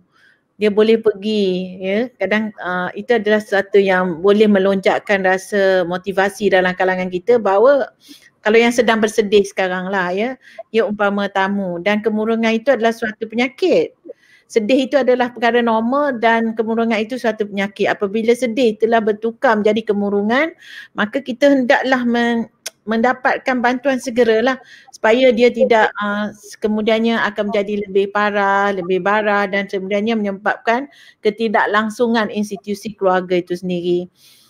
Doktor Raja, uh, Doktor Raja ya, kalau kita lihat kata tadi kemurungan dalam pasangan itu, ia menyebabkan uh, ketidakstabilan emosi dan juga ketidakstabilan institusi keluarga itu sendiri. Ya, uh, bagaimana pula pada pengalaman doktor lah, te- pada pandangan doktor Raja, apa pengalaman doktor Raja lah. Uh, saya ni saya buat secara rambang lah. Bila saya baca-baca, ramai juga orang menyatakan dia oleh kerana beban kerja yang sangat tinggi ni, uh, beban kerja. Saya percaya ramai wanita para penonton kita ni juga uh, mengalami beban kerja tu. At the workplace tu macam mana agaknya? Adakah dia bukan sedih kot. Saya fikir dekat tempat kerja ni kalau dah banyak kerja dia tak sedih lah. Tapi dia rasa macam tertekan ya. Dia tertekan. Uh, adakah baga- so bagaimana pula pada pengalaman doktor tentang ke apa nama panggil kemurungan dalam kalangan wanita yang berkejaya. Tak kira lah kejaya itu pada peringkat rendah ke peringkat pengurusan atau membuat polisi dan sebagainya. Bolehkah juga Dr. Raja beri juga uh, perspektif dari uh, kalangan apa wanita bekerja dalam bidang sokongan ataupun wanita yang membuat uh, keputusan dalam sebuah agensi tu adakah kemurungan itu dan bagaimana yang mana lebih cenderung untuk mengalami mengalami kemurungan itu. Orang yang ber, ber, membuat polisi atau orang yang sokongan ini ya. Ada mana pihak yang lebih cenderung untuk mengalami uh, kemurungan? Silakan doktor Okey, terima kasih uh, Prof Datuk dan juga ahli panel serta penonton semua ya. Jadi uh, saya akan berkongsi tentang bagaimana uh, isu kemurungan ini sebenarnya boleh juga mempengaruhi wanita yang bekerja. Uh, dan bekerja ini sebenarnya bukan sekadar bekerja sebagai pengurus tapi kita bekerja sebagai pekerja termasuklah suri rumah tangga. Kerana uh, saya kaitkan dengan pandemik COVID-19 ini uh, ada kajian yang telah dilaksanakan di Malaysia. Uh, apakah uh, level ya seseorang itu dari segi pekerjaan ataupun situasi yang mendapat kesan yang agak hebat sepanjang uh, pandemik ini? Di Malaysia ada lima kategori yang pertama yang mengalami tekanan dan juga uh, depresi ialah suri rumah tangga. Ini adalah mungkin disebabkan oleh mereka didudukkan rumah, kemudian menguruskan keluarga yang berada di rumah 24 jam dan sebagainya. So nombor satunya ialah suri rumah, of which dalam kalangannya ialah wanita. Saya minta maaf lah sebab Jabatan Pengelolaan Wanita, data-data saya semua wanita lah. Uh, uh, uh. Jadi yang keduanya ialah pekerja yang BDR, yang bekerja dari rumah ini termasuklah kita, kita wanita yang berkejaya. Jadi nombor dua, tetap ada uh, wanita dekat situ. Yang ketiga ialah ketua isi rumah. Ketua isi rumah ini termasuklah wanita yang mungkin belum berkeluarga tetapi mereka ini menjadi ketua isi rumah. Mereka yang menjaga ibu bapa, menjaga adik hmm, dan uh, memberi pendapatan lah, pendapatan kepada keluarga itu. Ini tiga ni ialah uh, nak tak nak ia berkaitan dengan wanita. Kita uh, penonton semuanya ya bila pasal uh, wanita bergaya ini ada kajian juga yang menunjukkan bahawa apabila kita ni bekerja melebihi 11 jam melebihi 11 jam cenderung untuk mendapatkan kemurungan tu adalah sangat tinggi berbanding mereka yang bekerja uh, 7.30 hingga 4.30 petang. Jadi ini yang ingin saya kongsikan uh, dalam perbincangan ini dengan para penonton semua sekali. Hmm uh, sesungguhnya bila sebut pasal kemurungan ini ia berlaku tidak mengira uh, latar belakang. Sama ada taraf pendidikan ataupun di mana mereka ini berada ataupun minta maaflah keimanan dan sebagainya. Sebab dia akan datang. Yang membezakan seseorang uh, dalam keupayaan mengendalikan uh, emosi termasuklah tekanan ataupun depresi ialah resilient yang ini yang Jabatan Pembangunan Wanita seboleh-bolehnya ingin mendidik uh, wanita khususnya lah uh, golongan B40 untuk belajar bagaimana mewujudkan resilient dalam diri. Sebab resilient ini akan menyebabkan seseorang itu mampu untuk menghadapi apa jua cabaran dengan cara yang lebih rasional serta dengan keadaan yang lebih tenang bukan itu saja di Jabatan uh, Kementerian Pembangunan Wanita Keluarga dan Masyarakat pernah ya melaksanakan kajian dalam kalangan hmm. wanita kerjaya. Uh, kita tanya soalan-soalan apa agaknya faktor-faktor yang menyebabkan seseorang itu menghadapi uh, kemurungan. Uh, kajian ni uh, dilaksanakan 2014 tetapi masih lagi lagi saya rasa boleh digunakan. Antara masalah utama ialah kurang masa bersama keluarga Jadi isu bagi wanita berkejaya ni mungkin terlalu fokus pada kerja sehingga mereka terlupa hmm. uh, tiada masa untuk bersama dengan keluarga. 51.9 uh, responden nyatakan bahawa antara isunya lah kurang uh, masa bersama keluarga. Yang kedua ialah masalah penjagaan anak. Uh, isu ini berlaku kerana wanita ni secara psikologinya mereka uh, sangat pandai untuk kognitifnya lah untuk men- menyatakan ini tanggungjawab saya, ini tanggungjawab saya, ini tanggungjawab saya. Padahal dalam proses penjagaan anak ni perlunya dikongsi bersama dengan pasangan. Tapi ni self perception ni kan. Uh, saya kena masak, saya kena kemas rumah, saya kena itu dan sebagainya. Itu ialah self uh, responsibility lah yang mereka, mereka rasa ya. Dan ketiga ialah sendiri dan yang keempat sebenarnya uh, Datuk ialah beban tugas kerja secara umum kita fikir, kita ingat beban tugas menyumbang kepada uh, tekanan uh, seseorang yang berkejaya. Tetapi sebenarnya the underlying issues yang berlaku dalam pemikiran dan psikologi manusia khususnya perempuan uh, ialah uh, beban kerja itu empat. Yang paling utama tu ialah keluarga. Jadi dalam hal ini bila kita sebut tentang uh, uh, tekanan, uh, murung dan sebagainya kita perlu juga faham bagaimana stres yang sekecil-kecil ini boleh menyumbang kepada kemurungan yang sebesar-besar sekiranya kita tidak uh, bijak mengendalikan emosi kita. So selalunya dia mula dengan stres. Stres kalau tidak dikawal dia akan jadi burnout. Burnout ni macam bangun tidur je macam malasnya nak pergi kerja macam tu. Itu antara yang paling mudah untuk saya nyatakan lah. Kemudian rust out. Ini jarang kita kita bincangkan. Rust out ini rasanya macam uh, dia rasa dia dah buat banyak dah. Jadi dia tak nak contribute anything. Ya, dia jadi macam okay saya tahu nak buat apa, okay fine, you know. Jadi dia tidak menyumbang secara proaktif lah. Kalau orang tanya boleh akan jawab. And finally baru datang depress ni di kalangan uh, orang yang berkejaya. So dia melalui proses-proses tersebut. Sebab itu uh, saya ingin berkongsi dengan semua uh, penonton ya. Kita perlu ada kesedaran awal identify sebelum dia menjadi sesuatu yang lebih sukar untuk dikendalikan iaitu uh, depression lah ya. Dia mula dengan benda yang kecil kemudian dia kait kait kait kait. Dalam sudut perundangan pula saya juga ingin kongsikan ya di dalam akta keganasan rumah tangga sebab kita pun bincang pasal keluarga di sini. Uh, kita kena lihat bagaimana akta keganasan rumah tangga itu uh, develop. Dia pada awal 1994 dalam akta hanya men- memberi penekanan kepada keganasan uh, dari segi fizikal. Uh, ditumbuk, dipukul, ya, perbuatan seksual yang meningkatkan kesan dan sebagainya. Tetapi apabila kita mendapat laporan daripada uh, apa ni penguatkuasaan, laporan daripada publik umum, kita realise that keganasan rumah tangga bukan sahaja berkaitan dengan uh, emosi, bukan sahaja berkaitan dengan fizikal, tapi ia berkaitan dengan psikologi. Sebab itulah pada tahun 2012 maka di dalam akta keganasan rumah tangga telah ada lagi satu penambahan iaitu apa-apa yang menyebabkan uh, penderaan psikologi sehingga meninggalkan kecederaan emosi kepada mangsa. So ini adalah antara perkara yang saya rasa uh, I mean rakyat semua perlu faham dan tahu bagaimana mengambil tindakan undang-undang selanjutnya lah. Dan apabila kita lihat dapat lagi banyak aduan kita kita kita identify that oh it's not only physical abuse it's not only emotional abuse rupa-rupanya financial abuse need to be added in the act. Jadi pada tahun 2017 maka berlaku lagi sekali pindaan. Sebab itu saya rasa perundangan kita ni evolve ya melalui uh, laporan-laporan dan sebagainya. Dan saya ingin sentuh sikit lagi uh, Prof. Datuk berkaitan dengan pekerjaan ini.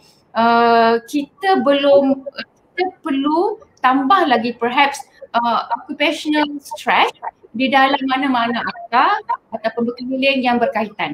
Setakat ini sebagai penjawab awam memang kita ada di dalam perkeliling perkhidmatan di mana uh, sesi kaunseling, perkhidmatan kaunseling dan psikologi bukan sahaja kepada penjawab awam, kepada ahli keluarga dan pelajar-pelajar IPA. Jadi ini perlu diperkembangkan lagi insyaAllah. So ini antara respon saya berkaitan dengan wanita uh, ataupun mereka yang berkejaya uh, dikaitkan pula dengan isu kemurungan seterusnya melibatkan juga perkembangan keluarga secara keseluruhannya. Terima kasih uh, Datuk. sikit je saya nak pergi pada Dr. Raja ya. Uh, ada soalan uh, sikit lah saya terus rangkum kan. Mungkin dalam masa dua minit doktor boleh jelaskan ya. Baik. Bagaimana seorang rakan ni uh, boleh membantu uh, seseorang yang telah didiagnose sebagai mempunyai major depressive disorder ni? Ada pengalaman okay. doktor? Uh. Baik. Uh, pertama sekali apabila kita mempunyai rakan yang dah diagnose ya clinically bahawa mereka ada major depressive disorder uh, sokongan psikologi sangat penting apabila mereka meluahkan perasaan mereka emosi mereka mendengar secara atentif itu sangat-sangat utama bagi orang yang mengalami depresif ini uh, untuk tidak menafikan kewujudan emosi tersebut so pertama dengar dengan atentif apa yang cuba hendak diluahkan dan sebagainya. Sekiranya rakan kita ni mengambil ubat kita cek sama ada dia ada ambil ubat tak uh, consistently mengambil ubat supaya ubat membantu dan jangan tinggalkan mereka seorang. Ya okay. saya saya faham mendengar itu adalah satu perkara yang sangat sukar tetapi uh, insyaallah boleh dilakukan. Mendengar itu adalah penawar ya baik um, Doktor Jamilah kalau nak tambah sikit sebab ni bidang doktor juga kan boleh doktor kongsi sikit macam mana nak bantu rakan kita supaya mereka tak rasa macam kita ni busy body lah. Macam dia rasa rimas. Nanti dia rasa rimas uh, dia tak nak kawan kita lagi. Macam mana kita nak avoid benda tu daripada berlaku? Sekejap masa dok, Doktor Jamilah ya Sila. Okey, terima kasih Prof. Uh, saya nampak tadi dia tulis dekat situ kita punya uh, partisipan ya, uh, tulis yang kawannya tu uh, dia dia highly functioning. Maksudnya dia memang boleh buat kerja. Ah, dia memang Betul. boleh buat kerja tapi dalam masa yang sama dia dah ada diagnosis MDD, major depressive disorder. Mm-hmm. Ah, ini kita panggil sebagai high functioning uh, apa high functioning patient with depression lah. Ya, yeah. dia high functioning what, maksudnya tak terganggu pun fungsi dia sebagai seorang pekerja. Ah, tetapi fungsi ini dia bukan sebagai pekerja sajalah, dia ada banyak fungsi-fungsi hidup yang lain ya. Ada sesetengah orang uh, dia menggunakan uh, pekerjaan sebagai cara untuk dia cope. Uh, maksudnya bekerja dengan lebih, bekerja lagi memang uh, lebih excellent ya, tambah waktu bekerja, uh, achieve lagi ya sebagai cara untuk dia distract daripada emosi tu. Uh, tetapi hmm. saya tak katakan kawan tu tadi confirm macam ni ya kita kena nilai baliklah ini di antara sebab-sebab ataupun kemungkinan-kemungkinan kenapa seseorang yang ada MDD tapi masih lagi berfungsi dengan uh, dengan baik uh, hmm. sebagai pekerja. Uh, jadi uh, pendapat saya seperti mana yang Dr. Raja Kamariah telah pun uh, cadangkan tadi uh, selain daripada um, apa uh, selain daripada mendengar secara atentif ya uh, mungkin kita boleh bagi tahu kepada mereka yang kalau ada kalau memerlukan apa-apa bantuan aku ada saya ada Ha, bagi tahu yang kita pun tak nak kadang-kadang takut merimaskan orang. Merimaskan Betul. lagi dia akan Betul. lari.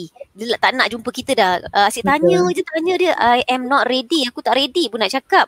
Bagi tahu saja bila kau uh, memerlukan seseorang untuk bercakap uh, telefon aku aku ada. Ha, dan hmm. boleh consistently uh, ulang ayat yang sama. Ha, ya, uh, aku hmm. ada. Kalau kau perlukan, aku ada. Itu pun uh, menghadirkan diri itu pun sudah cukup. Uh. Okay, jelas. Uh, terima kasih doktor. Um, yeah, I'm I will be always there for you. You remember I ada je kat sini. Okay. Itu ayah adik saya lah biasanya. Dia sering tuju pada saya. Anything nak tolong, I'm here. I'm here. Yeah? Prof Datuk pun selalu cakap kat saya macam tu. I'm here. Jadi support system tu sangat kuat. Kita uh, berkawan atau berkeluarga, uh, itulah yang kita selalu ucap-ucapkan ya. Saya fikir uh, inilah kita budayakan dalam silaturahim kita ya. Uh, I will be always here for you kan. Kalau father ke mother ke memang itu adalah ayat-ayat yang selalu kita gunakan untuk anak-anak. Uh, macam tu. Saya sangat berterima kasih saya belajar banyak hari ni ya. Baik uh, Datuk untuk kita kembali pada Prof Datuk Dr. Inayah ya. Uh, kalau kita bercakap tentang kemurung ke, kalau sedih ni ramai orang wanita selalu sedih ya. Uh, dan kalau kita kata bercakap tentang kemurungan tadi macam Dr. Raja sebut, semua kita sebut tadi bahawa kemurungan ini boleh berlaku pada siapa saja. Abang maco macam mana pun bang, bang boleh murung juga kan. Ha, jadi di sinilah apa yang Dr. apa Prof Datuk boleh kongsikan kalau kita kata uh, kemurungan ini sebenarnya disinonimkan dengan kaum wanita. Ya. Uh, dan adakah juga dari pengalaman pembacaan Datuk, pemerhatian Datuk ya macam mana kemurungan ni dalam situasi bagaimana pula suami ni ataupun abang maco kita ni boleh menghadapi kemurung, meng, kemurungan tu sendiri ya boleh pada pandangan Datuk silakan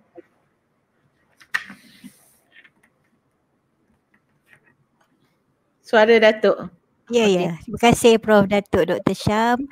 Uh, sebenarnya, wala asu min rahmatillah. Janganlah kita sama sekali putus asa kerana kita rasa putus asa tetapi sebenarnya itu adalah rahmat daripada Allah Subhanahu Wa Taala. Jadi atas landasan itu kita sebagai orang Islam haruslah mengamalkan juga sifat-sifat yang Rasulullah minta. Sebab Rasulullah ni uh, sebaik-baik akhlak yang kita harus uh, jadikan teladan eh. Uh, innaka la'ala khuluqin azim.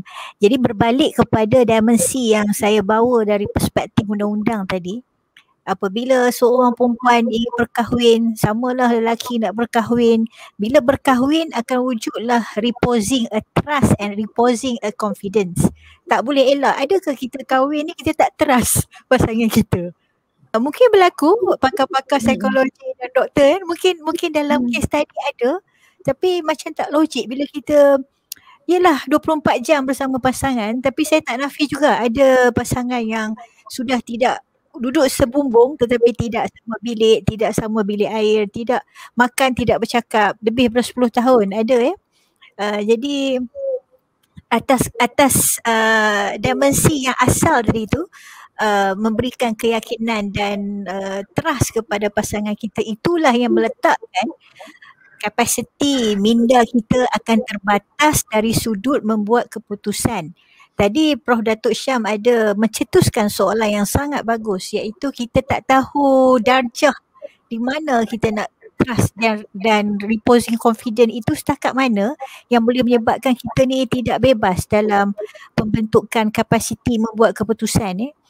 Uh, undang-undang melihat kapasiti minda dalam membuat keputusan itu dia meletakkan pertama sekali keputusan membuat apa-apa perkara mengenai keuangan. Sebab agak sukar eh keuangan uh, maaf agak sukar undang-undang meletakkan aspek lain sebagai priority. Sebab negara-negara barat civil law ini dia meletakkan economic as priority sebab suami isteri ini selalunya ada backup business di sana yang membawa kepada um, satu ledakan ekonomi. Jadi reposing a trust and confidence ditindikkan dengan keupayaan mental membuat keputusan berkenaan dengan keuangan. Jadi kita macam kita lah, kita ada ijazah, kita ada master, kita ada PhD, kita ada psikologi certificate professional, kita macam-macam lah eh.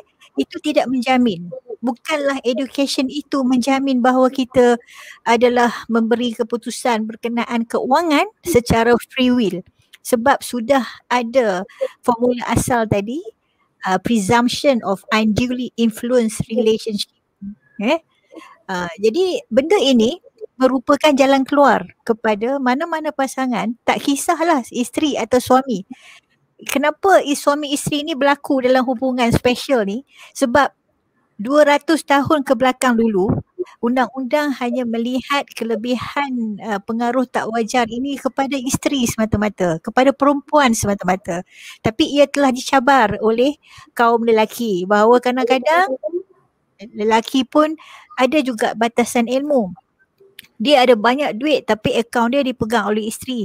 Jadi dia ada keterbatasan untuk membuat keputusan berkenaan dengan uh, keuangan. Dia jadi chairman company tapi CEO-nya isteri. Itu ialah cabaran-cabaran yang dibawa oleh kaum selain pada kaum perempuan. Malah di barat berbagai hubungan heteroseksual, homoseksual telah membawa uh, notion ini untuk mereka mengatakan mereka tidak ada kapasiti minda yang bebas untuk membuat keputusan melalui perundangan.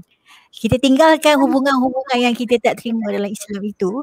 Tetapi menjawab soalan Prof. Datuk Syam tadi, suami sekiranya tidak ada kemampuan uh, voluntarism eh, tidak ada sukarela untuk membuat sesuatu keputusan berkenaan keuangan maka apabila terjadi sesuatu akibat daripada membuat keputusan tanpa free will itulah yang akan menyebabkan kemurungan kepada pihak sama ada isteri atau lelaki. Cuma lelaki ni dia jarang menunjukkan kemurungan sebab fitrah dia. Tapi ada lelaki yang memang melebihi perempuan. Hormon dia, dia akan sedih, dia akan tunjuk lebih daripada perempuan. Dan ada juga perempuan, Dr. Datuk Syam eh, yang memang tidak menunjukkan kemurungan. Walaupun dia sangat suffer inside. Dia very strong. Orang lain dah rebah dah. Tapi dia ada ya begitu. Mungkin pakar-pakar psikologi boleh support saya eh. sebab dia bergantung pada kelebihan yang dalaman yang Allah bagi pada dia dan mungkin dia ada satu notion dia apa-apa pun dia serah kembali kepada Allah ataupun dia dah biasa Allah bisa tegal biasa so menunjukkan kemurungan ni sebenarnya dalam kawalan lah kalau saya melihat dari apa yang saya Uh, melihat contoh-contoh perundangan ni adalah faktor-faktor luar yang pakar-pakar psikologi telah berikan tadi. Tetapi untuk sebab itulah undang-undang sivil ni dia meletakkan golongan elders dalam keadaan yang sangat beresiko. Disebut vulnerable. Tapi hanya elders yang ada dementia. Dia tidak boleh buat keputusan sebab dia mentally suffered. I mean brain capacity dia dah ada lacking tapi kalau kita yang 20-an ni memasuki alam perkahwinan dia sudah ada pre-determination of relationship of presumption of pengaruh tak wajar. Macam tu hmm. Datuk Syam eh. Ya, ya, ya. Menarik lah isu-isu begini eh. Sebab kadang-kadang benda yang kita berlaku tu kita tanpa tanpa sedar dan dia sudah menjadi paksa rela. Saya sedang menilai diri jugalah ah, kan. Konsep-konsep paksa rela ni kan. Ada satu soalan sikit Prof. Datuk ya. Um, dari segi undang-undang dari penonton kita uh, Cik Maziatul Akmal Juliet uh, dia kata dari segi undang-undang, mengapa cubaan membunuh diri itu dianggap sebagai suatu kesalahan? Mengapa cubaan membunuh diri itu adalah dianggap sebagai suatu kesalahan? Uh, dan salah, is, saya tak faham dia tulis dana salah is wajar. Adakah ia tu wajar ke apa ke? Tak faham saya yang tu. Walhal kebiasaannya those usually yang orang yang biasanya membuat cubaan membunuh diri ini adalah sakit mental mohon pencerahan kalau kalau dari segi undang-undang saya percaya bolehlah Datuk komen sikit uh, tentang uh, kesalahan membunuh cubaan membunuh diri ni Prof Datuk. Sikit. Ya, terima kasih Prof Datuk Syam. Saya tidaklah pakar dalam undang-undang uh, jenayah lama dah tinggal bab actus okay. reus reus ni mm-hmm. agak lama lama saya tinggal tetapi kalau soalan ini dia bertanya kenapa dia menjadi satu kesalahan jenayah sedangkan mem, uh, percubaan membunuh diri itu lebih kepada kelemahan uh, mental. Uh, hmm. maknanya di sini kalau tak salah saya saudari Maziatu ni uh, kaitkan membunuh diri itu in all cases insyaAllah kalau saya betul lah uh, ialah daripada mental illness. Kadang-kadang ya um, dari sudut perundangan tu membunuh diri ya dia cubaan membunuh diri. Ya cubaan membunuh diri. Sebab saya ada kes uh, kes uh, pelajar universiti ya. Dia seorang yang sangat berilmu, bersentiasa memberikan sharing uh, knowledge dengan kawan-kawan orang yang bijak. Tetapi akhirnya dia meninggal dengan suicidal eh. Um, bukan keluarga yang yang robek terencat keluarga yang sempurna. Uh, ibu dia tidak dapat menerima hakikat anaknya membunuh diri ya. jadi saya tak tahu kesan dia cuma itu telah diputuskan oleh mahkamah ada halusinasi lah seperti mana pakar kita sebut tadi. Uh, setakat tu dulu Prof. Syah mungkin ada bantuan daripada pakar-pakar lain. Uh, mungkin uh, ini juga berkaitan dengan apa yang saya akan ujarkan, anjurkan kepada Puan Hajah ya uh, tentang jenayah ini sebabnya um, sebabnya kalau bercakap tentang undang-undang jenayah syariah ni sebagai uh, pendakwa syar'i lah kedua ketua pendakwa syar'i sebenarnya kalau kita ikut undang-undang uh, atam suicide ni adalah juga suatu suatu perkara yang perlu dibincangkan juga dalam jenayah syariah kan. Walaupun dalam perundangan kita dia berada di mahkamah pada peringkat persekutuan kan dia tidak ada dalam undang-undang jenayah syariah. Tapi kita tak apalah kita pergi dulu sikit sebanyak untuk melihat uh, apa tentang apakah yang dimaksudkan dengan kesalahan-kesalahan jenayah syariah uh, mungkin kalau kita kata berkaitan dengan hal-hal berkaitan dalam kekeluargaan, kemurungan dan uh, kemurungan dan kesan daripada kemurungan itu berlakunya jenayah-jenayah seperti yang disebut oleh Tuan Ridha tadi dan ianya menunjukkan bahawa uh, berlakunya jenayah daripada kesan kemurungan tersebut. Bagaimana juga bagaimana pula jenayah syariah ini boleh yang ada di Malaysia sekarang ini. Uh, yang ada di Malaysia sekarang ini boleh membantu untuk memastikan bahawa kemurangan ini ditangani dengan baik dan sebagainya ya. Jadi uh, boleh uh, Puan Hajah uh, menceritakan tentang kedudukan kesalahan jenayah syariah dan juga bagaimana kedudukan kesalahan jenayah syariah ini yang boleh dikaitkan dengan perasaan kemurungan atau penyakit yang berkaitan dengan tekanan ini ya. Uh, silakan Puan Hajah. Okay, terima kasih Profesor Datuk Syam. Uh, jadi apabila kita uh, menyatakan tentang uh, jenayah syariah kan, kesalahan-kesalahan jenayah syariah mm-hmm. ada diperuntukkan di dalam undang-undang yang telah disediakan di negeri-negeri. Jadi uh, mengikut perlembagaan kita, setiap negeri dia mempunyai undang-undang yang tersendiri tapi macam mana pun uh, dia punya JIS ataupun uh, section-section uh, kandungan peruntukan tu adalah lebih kurang samalah antara negeri-negeri satu negeri dengan satu negeri yang lain ya. Um, jadi uh, ia bersesuaian dengan uh, prinsip makosid tadi berdasarkan kepada nahyul mungkar untuk mengelakkan kemungkaran kan.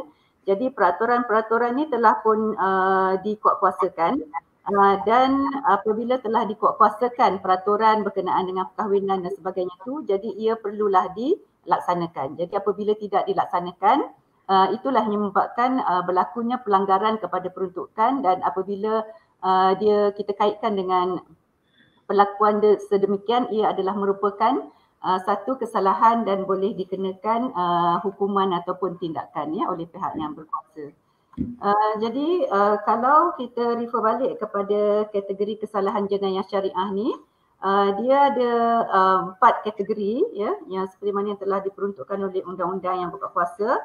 Yang pertamanya adalah merupakan kesalahan yang berkaitan dengan akidah Uh, yang kedua, uh, contoh kesalahan yang berkaitan dengan akidah ni adalah berkaitan dengan uh, pemujaan salah, lepas tu ajaran sesat. Uh, uh, begitu juga dengan sekiranya dia uh, menganjurkan ajaran sesat tu kepada orang lain pula. Uh, yang keduanya adalah berkaitan dengan kesalahan berhubung kesucian agama Islam. Jadi contoh-contoh uh, peruntukan yang berkaitan dengan kesucian agama Islam ni adalah uh, menghina atau disebabkan Islam dipandang hina. Ya. Uh, contohnya macam baru-baru ni kita ada diperlukan berkenaan dengan kesalahan uh, seseorang ya, uh, yang berpakaian seperti perempuan dalam majlis agama. Ya. Uh, jadi ia adalah merupakan satu perbuatan yang boleh menyebabkan Islam itu dipandang hina. Yang keduanya, uh, yang contoh yang selainnya adalah uh, menghasut supaya mengabaikan tanggungjawab agama. Uh, jadi yang ini pun kalau kita rujuk dalam uh, institusi keluarga kan, ada juga kes-kes di mana isteri, uh, suami menghalang isteri daripada membuat perkara-perkara kebaikan ataupun isteri uh, suami ni menghalang isteri daripada melaksanakan tanggungjawab agama dia. Uh, contohnya seperti uh, menghalang uh, isteri daripada menunaikan solat lima waktu. Jadi yang ini ada ya dia pernah berlaku dalam kes yang telah saya kendalikan sebelum ini. Uh, selanjutnya adalah berjudi dan juga minum arak. Jadi apabila kita lihat kepada makosid syariah tadi, apabila berjudi dan juga minum arak, apabila minum arak dia akan menyebabkan kecelaruan dari segi fikiran kan. Jadi bila berlaku kecelaruan uh, apa ni? kecelaruan dari segi fikiran tu dia boleh menyebabkan uh, suasana tegang dalam keadaan rumah tangga mungkin dalam keadaan mabuk dia boleh menyebabkan penderaan uh, kepada pihak uh, isteri ataupun dengan uh, sikap dia yang sentiasa uh, mengunjungi pusat-pusat hiburan dan minum kan dia boleh uh, apa ni menjejaskan uh, keuangan dari sudut keuangan kepada keluarga itu juga. Jadi ini adalah merupakan uh, perkara-perkara yang boleh menyumbang kepada kemurungan iaitu berkaitan dengan uh, kedudukan keuangan. Uh, kesalahan yang ketiga adalah berkaitan dengan kesalahan uh, kesusilaan. Uh, contoh kesalahan ini adalah kesalahan-kesalahan yang berkaitan dengan khalwat, persetubuhan luar nikah ya. Kemudian tu uh, mungkin uh, perlakuan orang lelaki berlagak seperti perempuan dan juga perlakuan yang tak sopan. Uh, jadi uh, kita dapat banyak juga kes-kes yang sebegini. Jadi apabila ada satu-satu tangkapan yang dibuat uh, berkaitan dengan kes khalwat contohnya ya, uh, kita bukanlah nak apa ni menyalahi prins, uh, privacy uh, seseorang tu. Tetapi dalam Islam kita dianjurkan untuk mencegah kemungkaran tu daripada berlaku ya. Uh, seandainya kata perkataan uh, perkara perbuatan khalwat ini kita tidak cegah daripada awal lagi maka ia akan lebih uh, menjurus kepada perkara yang uh, lebih buruk lagi lah mungkin berlakunya persetubuhan tanpa nikah kan dan boleh menyebabkan kelahiran anaknya di luar nikah tu juga ya. Dan akhirnya adalah Uh, kesalahan-kesalahan yang berhubung dengan kekeluargaan iaitu matrimonial offences.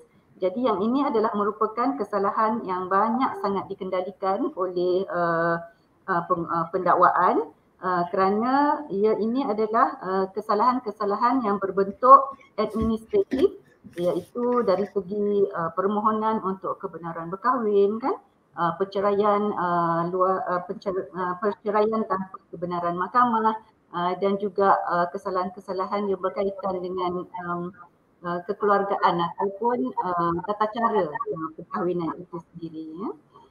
Uh, jadi bila kita menyatakan berkaitan kesalahan ni, uh, of course lah ia akan uh, melibatkan hukuman-hukuman ya, mana walaupun uh, nak dikatakan uh, jenayah syariah ni bukanlah dia punya tahap hukuman tu terlalu berat ya.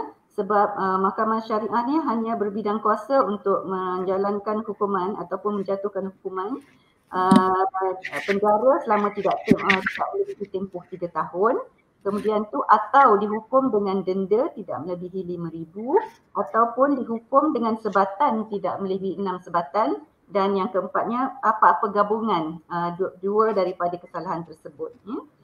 Uh, jadi uh, kita seboleh-bolehnya lah ya uh, cuba untuk uh, mengelakkan supaya uh, banyak kesalahan-kesalahan jenayah syariah ni daripada berlaku.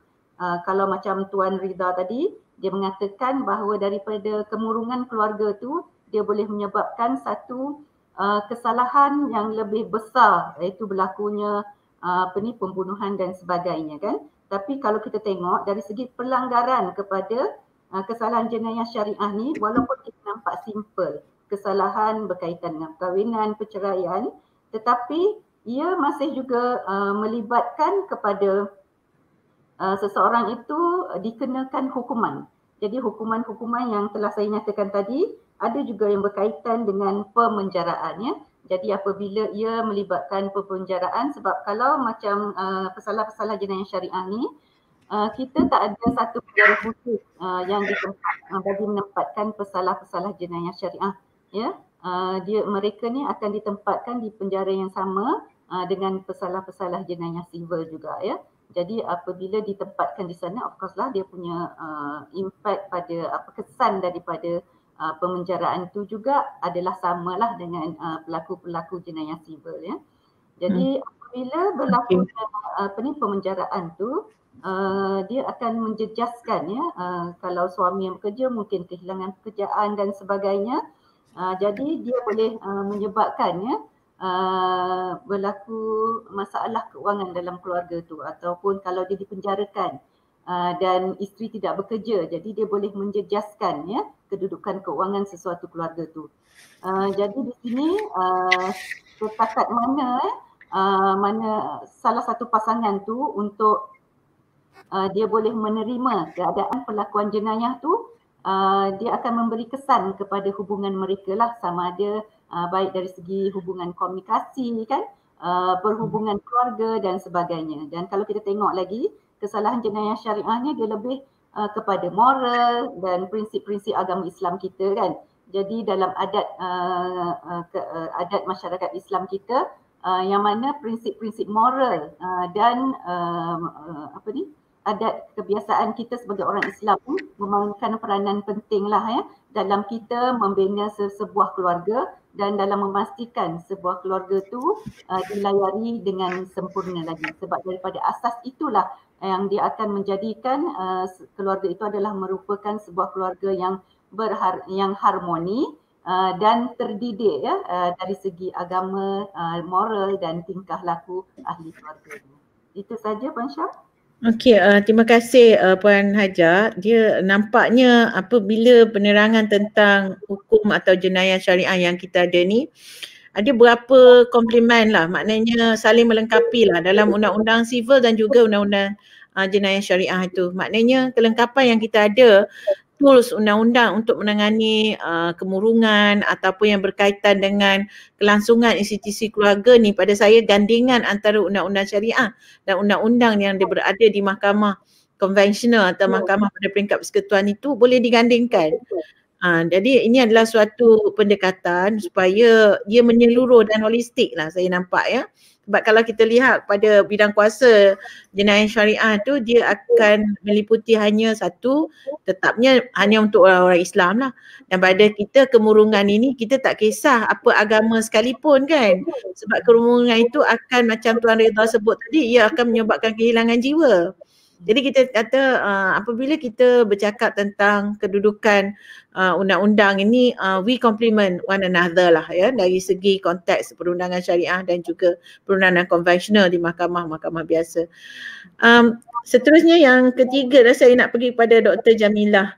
Doktor, uh, mungkin doktor juga dah terbaca soalan itu. Kalau suami mengalami kemurungan, apa yang perlu isteri buat kan? Dari Yadim. Jadi saya nak doktor rangkumkan sekali lah ya. Apakah faktor-faktor yang menyebabkan kemurungan dan apa yang isteri perlu buat kalau suami tu murung atau apa suami perlu buat kalau isteri tu murung. Tadi kita dah dengar dah sedikit banyak daripada Dr. Nurul tadi kan uh, adalah sedikit sebanyak pengalaman uh, beliau yang ber- dikongsi di situ. Dan saya harap doktor bolehlah menambahkan lagi dan memberikan pencerahan untuk kita uh, lakukan yang terbaik untuk keluarga kita. Ya sama ada suami atau isteri ya. Silakan doktor. Terima kasih Prof. Datuk. Jadi saya akan bentangkan uh, dua uh, topik lah. Yang pertamanya uh, berkaitan dengan faktor-faktor risiko ataupun punca uh, punca penyebab kepada kemurungan dan akhirnya apa yang kita perlu buat lah kalau pasangan kita sama ada suami atau isteri uh, nak buat apa kalau pasangan kita ni ada kemurungan. Okey, bila kita bercakap sebelum kita cakap pasal rawatan, ya apa yang nak dibuat, uh, penting untuk saya bagi tahu berkaitan dengan faktor yang merisikokan seseorang itu untuk dapat kemurungan, ya ataupun uh, bahasa biasa orang panggil punca ataupun faktor penyebab lah. Um, dan uh, apa uh, faktor-faktor ni biasa ditanya pada saya. Dan diorang ramai yang tanya uh, sebab dia tak cukup iman ke? Uh, dia tak ha, uh, tak cukup iman ke? Ataupun tak cukup semayang ke? Tak ikut uh, apa ni pesanan uh, suruhan Allah uh, tak ikut hadis dan sebagainya ya? Uh, jadi uh, kita faham dalam uh, masyarakat Melayu Muslim di Malaysia uh, yang uh, agama itu sangat sentral dalam kehidupan kita ya. Uh, jadi agama itu mempengaruhi uh, keseluruhan hidup kita. Walau bagaimanapun apabila kita bercakap tentang penyakit Ha, seperti mana kita bercakap tentang penyakit diabetes atau kencing manis, seperti mana apabila kita bercakap tentang penyakit chronic illness yang lain macam cancer, high blood pressure ya. Uh, kemurungan juga satu penyakit tapi dia penyakit mental, penyakit jiwa. Jadi dia punya penyebab tu uh, ada pelbagai jenis. Uh, saya dengar suara saya sendiri sekarang ni um, saya Okey. Kita tengok sikit Tanika kenapa uh-huh. jadi double eh? Uh-huh. saya tadi tak dengar double ni saya dengar double pula. Okey. Jadi uh, untuk discussion kita uh, perbincangan kita petang ini untuk memudahkan saya bahagikan kepada empat faktor risiko Ada empat faktor risiko. Eh. Yang pertama faktor risiko yang berbentuk biologi. Yang kedua faktor risiko yang berbentuk psikologi. Yang ketiga faktor risiko yang berbentuk uh, sosiologi ataupun socio-environmental. Situasi lah. Ya. Yang keempat adalah faktor risiko yang berbentuk uh, keagamaan, kerohanian. Ya. Okey, kita uh, yang pertama sekali faktor risiko yang berbentuk biologi. Uh, yang pertama adalah genetik. Kalau mak ayah kita, adik-beradik kita, atuk nenek kita ada yang diagnosis depression, ada possibility kita boleh dapat depression juga. Uh, yang kedua, uh, depre- uh, depression ni juga uh, adalah disebabkan dekat dalam otak kita ni dia ada bahan kimia kan. Jadi bahan kimia tu uh, dia uh, membantu untuk sel-sel otak kita yang macam dekat dalam iklan tu sel-sel otak berhubung, sel-sel otak bercakap. Tapi apabila kita punya bahan kimia yang kita sebut sebagai uh, neurotransmitter ni uh, dia tak balance, dia menyebabkan sel-sel tu tak boleh berhubung dengan baik dan terlahir dan terzahirlah kemurungan punya simptom. Ah, itu salah satu faktor. Faktor yang lain pula uh, penyakit-penyakit uh, fizikal yang lain. Contoh penyakit chronic illness yang saya sebutkan tadi pun boleh menyumbang uh, kepada depression. Uh, setengah-setengah ubat yang kita makan untuk uh, pulih pun boleh menyumbang kepada depression. Contohnya orang yang ada thyroid ya, uh, kadang-kadang dia ada juga depression. Uh, itu adalah faktor risiko untuk dapat depression dan juga pengambilan bahan-bahan terlarang ya ataupun substance yang lain. Uh, pun boleh menyebabkan orang kemurungan eh, kemurungan. Uh, macam tadi uh, kita selalu cakap uh, orang perempuan ni selalu kemurungan. Memang dari segi statistiknya uh, kita ni uh, masa ini memang kita tinggilah uh, orang perempuan. Dan salah satu sebabnya adalah kita ada hormon perempuan yang lebih banyak berbanding dengan lelaki. Dan hormon-hormon ni dia selalunya tak stabil pada masa-masa tertentu. Dan disebabkan tidak stabil itulah kita boleh dapat kemurungan ketika mengandung, ketika, selepas bersalin, ketika datang haid. Ya, so ini banyak ni faktor biologi yang selalu dipandang sepi oleh ramai daripada kita dan menyebabkan yang eh tak ini pasal tak cukup semayang. Ha, tidak ya. Ha, salah satu faktornya adalah faktor biologi. Apa pula uh, faktor psikologi? Okay, faktor psikologi ni contohnya personality seseorang. Uh, personality ni kadang-kadang memang ekstra sensitif, ekstra perisau, ekstra penyedih. Dia memang macam tu, dia lahirnya penyedih. Ah, sampai ke besar dia datang sedih. Ah, so mudah untuk dia dapat kemurungan dan rasa rendah diri uh, disebabkan banyak faktor lah rasa rendah diri uh, kemudian cara berfikir yang tidak rasional tadi Dr. Raja Kamariah dah sebut persepsi tu Uh, cara berfikir yang tak rasional macam kita define wanita yang baik adalah wanita yang baik adalah apabila dia bangun tidur sebelum uh, suami dia bangun, anak-anak bangun, dia buat semua di rumah, clean, uh, hari-hari kena mop uh, dan tidur paling lewat sekali dalam rumah. Uh, dan tidur mungkin dalam 4 jam saja. Kalau dia define wanita yang hebat begitu, itu tidak rasional. Ah, so persepsi psikologi terhadap role wanita uh, atau role lelaki, orang lelaki mesti kena buat macam ni pun boleh menyebabkan kemurungan. Uh, stres itu lagi sebab faktor psikologi faktor-faktor socio-environmental atau situasi sangat banyak. Contohnya uh, apabila ada kematian, ada konflik di antara suami, isteri, uh, rakan sekerja, penderaan fizikal, emosi, seksual uh, dan masa ni COVID-19 pun banyaklah orang yang kemurungan sebab faktor COVID-19. Uh, bukan sebab tak cukup sembahyang. Tapi sebab COVID-19 kita semua struggle dan akhirnya merisikokan seseorang untuk uh, dapat kemurungan. Uh, tapi perlu diingatkan bukan uh, faktor-faktor yang buruk-buruk sahaja ya yang menyebabkan seseorang itu boleh mengalami kemurungan dan stres. Faktor yang baik-baik pun boleh menyebabkan seseorang kemurungan. Contoh, berkahwin. Berkahwin, bergaul, ada soal, ada keluarga baru, tiba-tiba depres sebab tak boleh nak adjust. Asalnya gembira kahwin. Uh, ada anak baru.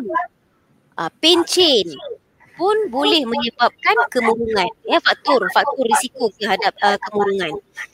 Faktor-faktor risiko lain yang saya sebutkan tadi adalah uh, keagamaan dan spirituality atau kerohanian. Ya. apabila kita lihat dari perspektif kajian, uh, orang uh, menjalankan kajian dia tengok uh, adakah orang yang tinggi religiosity-nya boleh protect seseorang itu daripada mengalami kemurungan. Tidak juga. Orang yang tinggi religiosity-nya, uh, tinggi kerohaniannya berdasarkan kajian pun boleh dapat depression. Jadi nak katakan kalau kita uh, apa tinggi uh, keagamaan, uh, praktis agama, uh, kita punya kerohanian pun tinggi, confirm tak ada depression, uh, mengikut kajian itu tidak benar. Ya. Yeah? Uh, jadi ini adalah di antara faktor-faktor risiko dan kita kena tengok manusia itu dari segi perspektif yang lebih holistik lah. Uh, bukan dah saja dari satu sudut iaitu uh, keagamaan dan kerohanian semata-mata. Kita kena tengok aspek biologinya, aspek sosiologinya, aspek psikologinya. Baru kita boleh faham manusia itu kenapa dia ada kemurungan. Dan bila kita dah faham faktor-faktor ini, barulah kita boleh membantu untuk merawat kalau kita hanya faham satu faktor saja, ya, kita rasa seseorang itu dia dia, dia dapat kemurungan disebabkan dia tidak uh, menunaikan tanggungjawab dia sebagai seorang muslim contohnya. Jadi kita mungkin akan suruh dia sembahyang banyak saja.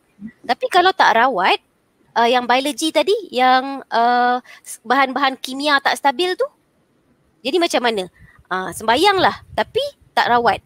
Mungkin tidak memberi kesan ya?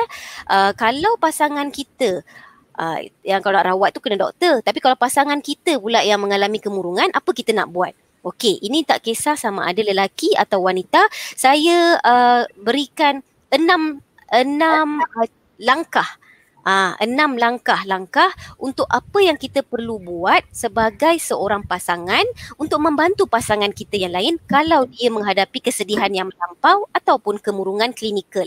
Yang pertama, sebagai pasangan, belajarlah apa itu kemurungan. Apa itu kemurungan? Jadi kita tingkatkan uh, literasi kita terhadap kesihatan mental apa itu kemurungan kita belajar yang kedua seperti yang saya dah sebutkan tadi hadirkan diri apabila kita bersama dengan pasangan. Uh, itu yang kita cakap tadi I, I will be here when you need me. Uh, ada apa-apa yang kita boleh bantu ke dengar secara attentif ya? Uh, itu yang kedua. Yang ketiga menggalakkan pasangan kita untuk mendapat rawatan macam mana cara nak galakkan pasangan untuk dapat rawatan?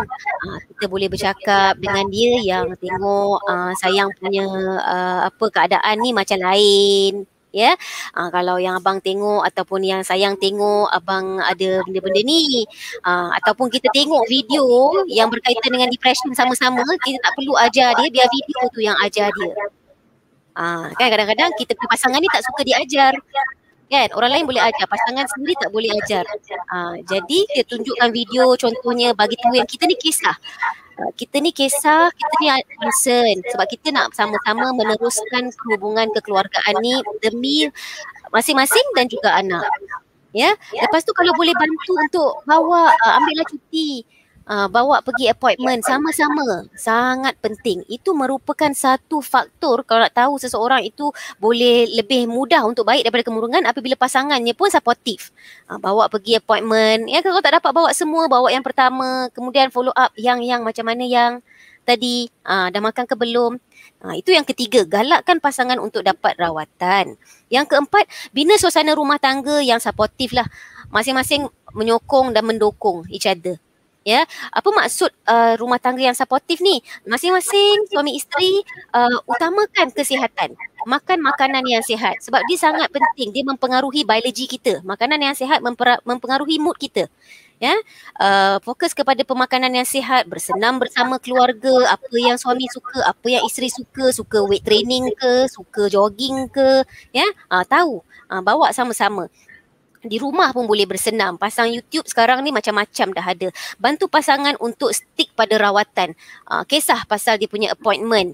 Uh, buat perancangan bersama-sama sebagai keluarga. So itu adalah maksud uh, untuk bina supportive environment dalam keluarga lah. Yang kelima, fokus kepada uh, objektif-objektif kecil dalam keluarga. Ini sangat penting untuk orang yang murung sebab orang yang murung ni banyak benda dia tak nak buat tak kisah lelaki ke perempuan. Seperti yang saya dah cakap tadi, mandi pun kadang-kadang tak nak. Uh, jadi instead of kita bagi dia objektif yang besar, okay, uh, pergi cari kerja. Ha, tu agak besar. Kita kecil-kecilkan objektif. Okay, hari ni uh, mandi pada pukul sekian-sekian. Ha, ini untuk yang teruk eh, yang extremely severe. Ada yang tak tak gosok gigi pun ada. Ha, itu objektifnya. Hari ni gosok gigi pagi. Ha, so itu fokus kepada objektif-objektif kecil dan sokong mereka. Yang keenam yang terakhir adalah sangat penting untuk mengenali tanda amaran, tanda-tanda amaran bunuh diri. Ya. Yeah? Uh, so tanda-tanda amaran bunuh diri ni sebab saya kata kalau dah severe sangat, orang lelaki tadi yang seperti uh, uh, Prof Datuk, Dr Inayah kata dia uh, kadang-kadang very iron dia tak tunjuk. yang perempuan pun very iron lady tak tunjuk kan? Uh, tetapi kalau betul kita observe ada banyak lagi faktor-faktor lain yang merupakan ciri-ciri kepada tanda-tanda bunuh diri. Yang pertama mungkin ada cakap pasal uh, mati tak semestinya bunuh diri sebab itu agak tabu dalam kita punya masyarakat. Cakap pasal mati, lepas tu uh, apa ni beli barang-barang yang nak gunakan untuk kematian, untuk bunuh diri, ya. Yeah? Uh, lepas tu uh, mood swing yang ekstrim, sekejap okey, besok dah tak okey, sekejap sayang, besok menyampah, ya. Yeah? Uh, lepas tu suka menyendiri. Uh, dia suka duduk seorang-seorang.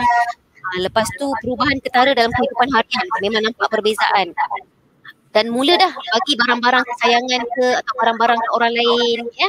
Uh, bagi beg kesayangan uh, bagi macam kesayangan tu handphone kesayangan dah mula bagi ke orang ataupun uh, buku bank dah bagi ke orang. Uh, ucap selamat tinggal ya. Uh, mengucapkan selamat tinggal secara jelas atau tidak jelas ya. Uh, dan dan menguruskan apa-apa yang patut sebelum dia pergi So kalau kita nampak perubahan-perubahan ini, segera bawa jumpa doktor. Segera bawa jumpa doktor saya ulang kembali. Ya, so kena-kena pasti ini adalah tanda-tanda amaran membunuh diri. Walau bagaimanapun bukan uh, orang yang murung saja membunuh diri ya. Uh, orang yang impulsif pun bunuh diri. Dia tak ada kemurungan pun tapi dia impulsif pun boleh jadi bunuh diri. Happy happy happy panjat gunung pak jatuh pun ada kes macam tu. Ya. Uh. Okey saya rasa uh, panjang lebar saya cakap ni Profesor Datuk Syam Rahayu ya. Uh, saya rasa cukuplah kot di situ. Um, ya panjang pun tak mengapa sebab kita minat dengar tu. Dan banyak perkara-perkara yang baru dan saya fikir uh, ini mencapai objektif Maya lah untuk menganjurkan program seperti ini supaya ia sampai kepada masyarakat dan uh, umumnya kepada kita sebagai kaum wanita dan mungkin juga pengalaman ataupun pengetahuan ini boleh dikongsi oleh uh, rakan-rakan yang apa yang kaum Adam lah orang kata ya. Di sini uh, mungkin persoalan-persoalan ini juga ada daripada apa yang saya nak kata persoalan-persoalan atau faktor-faktor yang menyumbang pada berlakunya kemurungan ini mungkin terdapat dalam banyak apa nama uh, dalam orang yang kita kenali lah. Pada saya sendiri yang kita boleh menganalisis uh, apa uh, watak-watak ataupun pekerja kita dan sebagainya lah. Jadi ini satu perincian yang kita boleh berikan perhatian. Kadang-kadang kita, supaya kita tak terlepas pandang ya. Jadi maya ataupun uh, dalam konsep uh, kluster kita ni kluster sosial dan kluster undang-undang dan sosial ni um, menghayati kedua-dua bahagian tu aspek itu itu aspek perundangan itu. Kadang-kadang undang-undang ni dia datang setelah benda tu berlaku itu masalah dia kan. Jadi apa yang doktor present tadi adalah suatu yang sangat penting supaya undang-undang tu kita buat jangan berfungsi dulu. Sebab tidak ada tidak ada kesalahan, tidak ada perkara yang berlaku kerana kita telah dapat mengekang ataupun menyekatnya, telah mengubatinya, memberi penawar kepadanya sebelum ia mendatangkan kemudaratan ya. Uh, baik kalau uh, kita melihat kepada apa yang doktor sebut ni, uh, doktor Jamilah sebut tadi tentang faktor kemurungan, kemurungan dan kenapa apa yang kita perlu lakukan. Mungkin apa yang mahu saya minta lah Dr. Raja Kamalia juga memberikan pandangan ya uh, tentang um, bagaimana seorang wanita itu boleh saya fokuskan kepada wanita wanita yang berkejaya atau kalau dalam pembentangan nanti doktor rasa um, memerlukan pasangan dia ataupun kaum lelaki itu juga bagaimana uh, wanita itu mempunyai keupayaan untuk mengelakkan berlakunya kemur- kemurungan? Kerana dalam faktor utama kadang-kadang ya kemurungan itu berlaku apabila kita tidak dapat me, meng, apa, mengagihkan, menyeimbangkan antara kehidupan peribadi dan kerjaya. Ha, jadi mungkin ada dua perkara ini kerana kehidupan peribadi dan kerjaya itu gagal kita mengimbanginya maka ia akan menyebabkan kemurungan. Dan uh, bagaimana pula untuk wanita itu mengelakkan daripada berlakunya kemurungan? Mungkin untuk mengimbangi itu dulu macam mana? Ya, uh, boleh doktor kongsikan pengalaman dan juga pengetahuan doktor tentang isu ini? Silakan doktor. Baik, terima kasih Datuk. Ya. Uh, di JPW ni memang uh, fokus kita ialah pada kumpulan disasar uh, termasuklah B40, M40 dan T20. Cuma saya ingin berkongsi sedikit pengalaman sepanjang saya di JPW ini ialah bagaimana kita membantu uh, wanita khususnya dalam urusan uh, uh, di mahkamah. Saya bagi contoh saya rasa suara pun bergema juga macam uh, Puan Dr. Jamila tadi. Mungkin mikrofon saya kot, saya kena mute ke? Saya pun tak pandai nak mute, tolong. Okay. Uh, okay dah, okay dah. Okay. okay. Okay. Jadi uh, sebenarnya uh, kalau di Jabatan Pengguna Wanita contoh ya uh, dalam hal pengurusan undang-undang baru-baru ini kami telah melaksanakan program yang kita panggil pemerkasaan ibu wajah. Program ini ialah membantu wanita-wanita bagaimana untuk membela diri di mahkamah. Uh, jadi sebelum ini kita buat legal clinic. Legal clinic ni membantu wanita di peringkat akar umbi bagaimana menyediakan diri mereka untuk menghadapi urusan-urusan di mahkamah. Uh, ya kita dapat bantuan lah daripada uh, pe, pengamal-pengamal undang-undang dan juga daripada Jabatan uh, Biro Bantuan Guaman dan sebagainya untuk membantu wanita-wanita. Dan daripada situ kita belajar bahawa pentingnya wanita ini mempunyai uh, ilmu pengetahuan bukan saja untuk menguruskan diri sendiri tetapi ilmu undang-undang pun sangat penting. Jadi sebab ada soalan tu daripada Puan Shima itu yang saya maklum saya nyatakanlah ya. Memang tidak dapat dinafikan uh, isu-isu seperti begini memang berlaku di dalam masyarakat tetapi saya mohon agar wanita di luar sana uh, sentiasa equip diri dengan uh, ilmu-ilmu uh, perundangan dan sebagainya untuk menyediakan diri sendiri. Dan berbalik pada soalan Datuk tadi, bagaimana untuk mengimbangi ya, sebagai wanita berkejaya mengimbangi urusan keluarga dan juga urusan kerjaya. Uh, ini yang kita panggil resilient yang saya sentuhkan tadi sikit saja. Seperti mana yang Datuk maklumkan tadi ada wanita ni dia belagak kuat. Dia macam strong lady, iron lady. Tapi jauh di sudut hati dia kadang-kadang mungkin ada elemen-elemen uh, apa ni gas tadi lah emosi naik turun naik turun cuma satu saja yang saya ingin kongsikan ialah mereka ini mempunyai resilient yang sangat tinggi Nah, apa itu resilient? Uh, ini adalah daya tindak ya. Ada empat perkara yang perlu kita lihat sekiranya kita ingin uh, mengukuhkan resiliensi dalam diri kita. It is about uh, here and now ya. Sekarang uh, masa sekarang ni kini dan what to do next. Sentiasa ada dalam fikiran kita apa yang berlaku sekarang dan apa tindakan saya pada masa hadapan. So empat soalan ni apabila berlaku cabaran dalam kehidupan kita ada berlaku challenges ataupun masalah dan sebagainya kita tanya diri kita apa yang saya ada sekarang? Ya. Uh, ini termasuklah kesihatan macam Dr. Jamila maklumkan tadi ataupun pengetahuan kita apa yang saya ada sekarang. Kemudian apa yang perlu saya buat sekarang berdasarkan dengan apa yang saya ada ya. Dan seterusnya uh, boleh ataupun tidak untuk saya meneruskan kehidupan untuk hari esok. Sekiranya boleh, senaraikan apa dia. Sekiranya tidak boleh, kita cari penyelesaian kepada yang tidak boleh itu. Adakah faktor emosi, adakah faktor eksternal orang lain dan sebagainya. Dan seterusnya ialah mengambil tindakan. Ya, membuat tindakan. Kadang-kadang yang menjadi isu bagi seseorang wanita adalah untuk membuat tindakan. Kita fikir terlalu lama doktor. Fikir, fikir, fikir, fikir sampai kita lupa uh, bagaimana untuk membuat resolusinya. So ini yang yang yang membantu kita.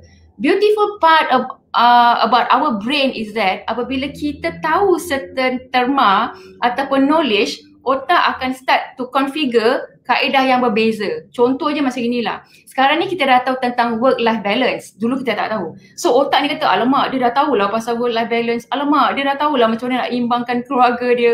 Jadi dia akan the negative side of us ni otak ni akan buat uh, pemikiran yang yang dia kena fikir lagi semula macam mana nak nak nak buat ke orang ni kan. Sebab itu saya kata knowledge is everything ya. Yang kedua uh, bila sebut pasal work life balance ini ialah bagaimana uh, kalau life tu is about home, is about your your your inner child, about yourself ya. Sebab itu kalau kita lihat mereka yang kita panggil sebagai iron lady ni, mereka ada masa untuk diri mereka sendiri sibuk macam mana pun mereka tetap ada masa untuk diri mereka sendiri. Saya personally berjumpa dengan beberapa ayah lady uh, di negara kita ini dan amazingly uh, Prof Datuk mereka tidak pernah menggunakan perkhidmatan pembantu rumah.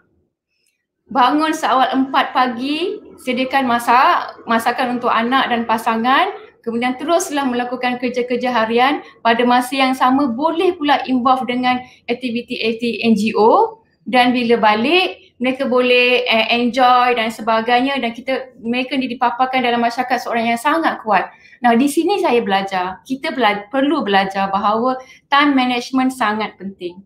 Bila kita berjaya untuk menguruskan uh, masa kita dengan bijak, insya Allah akan beri akan diberi kelonggaran dan kemudahan untuk melakukan segala perkara.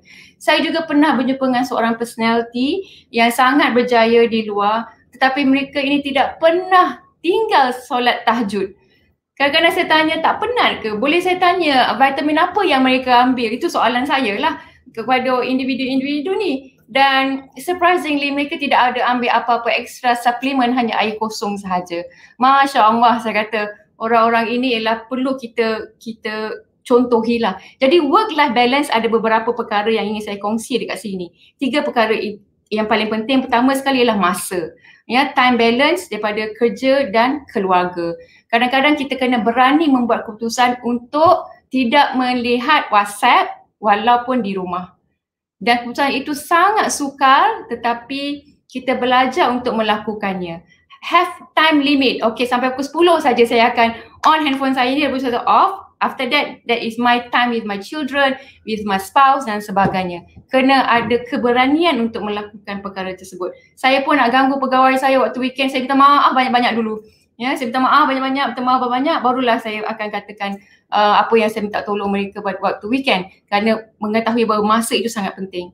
Yang kedua ialah uh, kepuasan apabila kita melakukan tugas kita di pejabat. Terus terang saya katakan apabila kita bersama dengan individu-individu yang hebat ini saya belajar bahawa kepuasan di tempat kerja mempengaruhi mereka untuk meneruskan uh, keseimbangan dengan keluarga. Dan saya cuba untuk meniru dan ia berjaya serba sedikit. Apabila kita puas bekerja seolah-olah macam ni ada ada perasaan macam halal kerja hari ni punyalah penat macam tu kan tapi uh, itulah sebenarnya yang membuatkan seseorang menjadi resilient ya, menjadi uh, daya daya tindak dia tinggi apabila menghadapi cabaran-cabaran tersebut. Sentiasa intact, grounded dalam keadaan sekarang. Begitu juga bila kita uh, mention tentang kemurungan. Kebanyakan orang yang kemurungan ini mungkin doktor Uh, Prof boleh betulkan saya, uh, Dr. Jamila dan sebagainya. Uh, kebanyakan orang yang murung ini ialah mereka stuck dalam satu keadaan dan stuck itu berlaku sangat lama. Secara kognitifnya, uh, otak kita ini mengambil 90 saat untuk identify emosi ini adalah emosi yang bagaimana. 90 saat. Dalam tempoh 90 saat itu, kita boleh uh, identify lah, kita boleh lihat, okay, yang berdiri boleh duduk, yang tengah marah boleh tukar, break the step pergi tempat lain dan sebagainya, baru kita boleh identify emosi tersebut. Dan secara maksimumnya otak kita mengambil masa 20 uh, minit maksimum ya 20 minit untuk proses emosi-emosi yang negatif. Selebihnya daripada 20 minit itu ialah self inflicted. Kita yang memperbesar-besarkan emosi yang dalam diri kita. Jadi ini ialah kemahiran. Saya faham tidak sama dengan orang yang mengalami uh, emotional fluctuate biasa dengan depresif.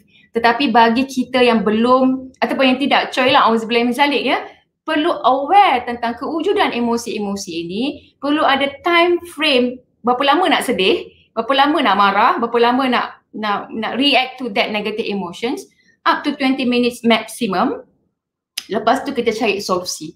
Kalau kita tidak kita khawatir benda itu akan drag, drag, drag dan rupa-rupanya kita telah suck into that negative emotions which lead us to depressive uh, punya keadaan ya. So ini yang saya ingin kongsikan dengan uh, uh, semua ya berkaitan dengan uh, macam mana untuk men- mencapai work life balance itu. Selain daripada itu saya mohon juga ketua-ketua yang lead the organisation ataupun yang ada anak buah uh, pun perlu faham tentang isu-isu depresif di tempat kerja supaya kita sebagai ketua tidak menjadi vampire ataupun uh, ada satu penulisan buku Office Vampire menarik perhatian saya kita tidak menjadi vampire iaitu kita bukanlah orang yang suck energi orang lain. Kita tak suck energi staff kita sehingga rupa-rupanya kita lah menjadi penyumbang kepada depres, depression mereka. Auzubillahi min lah. Jadi Oh, knowledge sangat penting kepada semua tak kira level dan kita sebagai pekerja pun kena ada knowledge sekiranya berada dalam keadaan yang toxic environment, toxic organi- organisation jangan menyebabkan organisasi itu menjadi punca kepada kita untuk uh, sakit ya Betul doktor. Hmm, betul. diri supaya kita bangkit dan bangun untuk diri sendiri insyaallah Hmm, baik doktor. Terima kasih. Pesanan uh, pesanan yang sangat bermakna. Uh, pertama menjadi orang yang resilient dan kita mampu untuk menangani kesemua permasalahan ataupun tidak menjadi punca kepada masalah. Ini kadang-kadang kita tak sedar kita tu punca masalah. Jadi kena self reflection especially those leaders lah. Baik, uh, kita ada masa sedikit lagi untuk kita mendengar pandangan dan bagi, uh, pandangan dan juga penutup lah. Daripada uh, Prof. Datuk Nur Inaya berkaitan dengan kekuatan uh, apa yang dilakukan dalam aspek perundangan tentang kekuatan terhadap kapasiti mental seseorang. Dan kemudiannya kita pergi kepada Puan Hajar yang berkaitan dengan bagaimana kelangsungan institusi keluarga ini uh, boleh berlangs mana, ba- kepada apa bagaimana kelangsungan institusi keluarga ini boleh uh, apa boleh diteruskan uh, dalam dengan memberi aspek pada emosi dan em, bagaimana aspek emosi dan kesalahan boleh memberi kesan kepada kelangsungan institusi keluarga. Uh, kita terus langsung pada Prof Dr. Nur Inayah dan kemudiannya kepada uh, Puan Hajah Nur Hadina ya. Okey, terima kasih Prof. Datuk Syam. Um, memang undang-undang tu sudah menyediakan jalan keluar sebab sudah termetri ya. Uh, apabila ada hubungan trust and confidence itu uh, maka akan terbatas kapasiti minda ya. Uh, di sini saya bawa uh, sedikit tarikan ke arah kapasiti minda. Uh, belum berlaku kemurungan lagi ya. Uh, itu adalah uh, formula awal. Jadi kalaulah sekiranya uh, ia berlaku dalam hubungan uh, reposing trust and confidence dalam suami isteri uh, dalam urusan telah pun diberi garis panduan terutama membuat keputusan dalam hal-hal keuangan sama ada suami atau isteri sekiranya ingin membuat uh, pinjaman keuangan dan sebagainya undang-undang telah meletakkan jalan keluar dengan mewujudkan pihak ketiga yang mengetahui undang-undang iaitu peguam memastikan isteri atau suami benar-benar memahami apa jenis transaksi yang dimasuki. Kadang-kadang kita tak pernah pun bank bagi kita uh, betul-betul faham tak agreement ni. Is is something Hmm. else ya. Uh, kalau kita terus sign sebab sebagai isteri dan sebagai suami yang menyayangi isteri dan suami dia tidak pun question eh. Dia tak pernah question liability yang akan berlaku resiko akan berlaku sebab capacity minda dia tu telah disebabkan trust and confidence. Walaupun orang Islam ni orang perempuan Islam ni mungkin juga orang perempuan bukan Islam walaupun sudah tidak ada ikatan sebagai isteri pun dia masih ada yang menyimpan perasaan trust and confidence eh. Um, kita tengok banyak kajian-kajian yang bekas isteri dia masih menyayangi ada trust and confidence sebab um, kesetiaannya tebal eh. Sama juga dengan pihak suami eh. Dan saya ingin menutup dengan dua satu daripada Al-Quran, satu daripada sunnah. Kerana kita mesti berkiblatkan kepada Quran dan sunnah lah. Sebab tadi apa uh, Adinda Dr. Nurul eh Nurul ke? Jamilah eh Jamilah dan uh, Puan Nadia dan juga Dr. Raja ada sebut tentang tahajud dan sebagainya. Saya rasa Allah dah sebut laqad qadaqnal insana fi ahsani taqwim eh. Kita telah dicipta oleh Allah dalam sebaik-baik sifat. eh uh, kalau kita baca lagi terjemah-terjemah daripada para ulama memang sifat itu merangkumi dalam dan luaran dan kita ada kebijaksanaan akal yang mengat- yang mengatasi binatang eh. Uh, cuma ada ketinggian-ketinggian iman dan ada cuba uh, cuba apa ni? Dugaan-dugaan ujian daripada Allah Subhanahu Wa Taala. Dan um, dekat-dekatlah selalu dengan Quran dan Sunnah kerana ia boleh menjauhkan kita daripada sifat-sifat yang bila kita sudah tidak mempunyai hubungan yang tawakal yang kuat dengan Allah Subhanahu Wa Taala. Satu lagi hadis yang sangat popular man ra'a minkum munkaran falyughayyiruhu biyadihi nampak je kemungkaran dalam hubungan suami isteri saya rasa eh dah sampai masa Prof Datuk Syam dan teman-teman moderator dan viewers di luar sana dah sampai masa kita memprofesionalkan hubungan suami isteri ni. Bukanlah kata kita ni cerewet ke apa, tapi kadang-kadang isteri ni dia dia ambil mudah. Walaupun suami pun kadang-kadang ambil mudah. Tetapi bila hal-hal yang melibatkan pusaka dan faraid benda itu akan memberikan impak yang besar ke pula kepada yang ditinggalkan. Sebab kita tidak pernah buat perkara-perkara ini sebagai satu profesional. Kalau di kerja, kita ada dokumen yang lengkap, kita ada pemantauan yang lengkap. Kadang-kadang uh, saya suka tadi pengarah kita ada sebut pukul 10 tutup WhatsApp. Sama juga apply to husband. Tak boleh isteri je tak buka WhatsApp kan. Sebab kalau kita tengok suami kita pun kadang-kadang bekerja. Mereka pun memerlukan komunikasi sebab uh, atas kapasiti uh, apa uh, pekerjaan. Walau bagaimanapun hmm kalau kita tak tengok WhatsApp sekalipun sejauh mana kita apply kebijaksanaan kita dalam menggunakan masa sebaiknya. Kadang-kadang WhatsApp kita buka tutup pukul 10 pun kadang-kadang yang kita buka daripada pukul 8 pagi hingga 10 malam tu adakah kita buka perkara yang berkualiti? Ya. Yeah? Kadang-kadang kita buka sekejap impak dia besar kalau kita betul-betul menunjukkan contoh yang kita betul nak dapat informasi. Sebab kalau tak silap saya eh, kalau kita berada di luar negara, masa tu sangat banyak. Sebab kita tak guna WhatsApp ni kerap. Sebab komunikasi dia hanya through email. Kalau yang diputuskan dalam mesyuarat, itulah. Sebab dia dah faham cara kerja dia. Kita ni selalu sangat macam 24 jam. Uh, macam kita, uh, yelah mungkin sudah jadi satu culture, norma kita eh mungkin kita kena profesionalkan cara penggunaan komunikasi um, selagi mana kita tidak leka menunaikan uh, apa-apa ibadat yang wajib lah. Jadi saya rasa kalau yang last kali hadis saya baca tadi kalau nampak kemungkaran tak boleh ubah dengan kuasa, tak boleh ubah dengan lisan, ubah dengan hati. Itu walaupun selemah-lemah iman tapi kita mohon supaya kita tak dapat penyakit yang sama, supaya kita tak dapat perangai yang sama, tak dapat kemurungan yang sama. Sebab kita boleh elak ya, benda ni dalam kontrol sebenarnya kalau kita memahami apa tugas kita, apa tugas pasangan, apa tugas anak-anak dan atas dasar kita ada pengetahuan bahawa oh hubungan ni menyebabkan aku akan percaya kepada pasangan aku. Dan Allah hmm. meletakkan batasan bukan perspektif undang-undang sahaja. Batasan kita ialah mencintai Allah tu segala-galanya manusia tu kita masih ada Allah untuk kita sayang selama-lamanya. Semua yang di dunia ni ialah amanah semata-mata lah Prof Syam. InsyaAllah. Terima kasih. Terima kasih uh, Profesor Datuk Dr. Nur Inaya um, dengan pesanan-pesanan itu insyaAllah. Baik kita pergi langsung kepada Puan Hajar untuk persoalan yang terakhir ni. Silakan Puan Hajar.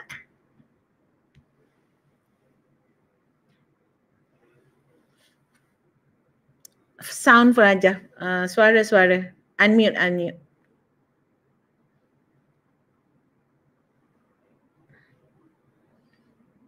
Suara pun aja tu. Book off on on kan. Oh, mute tu mute.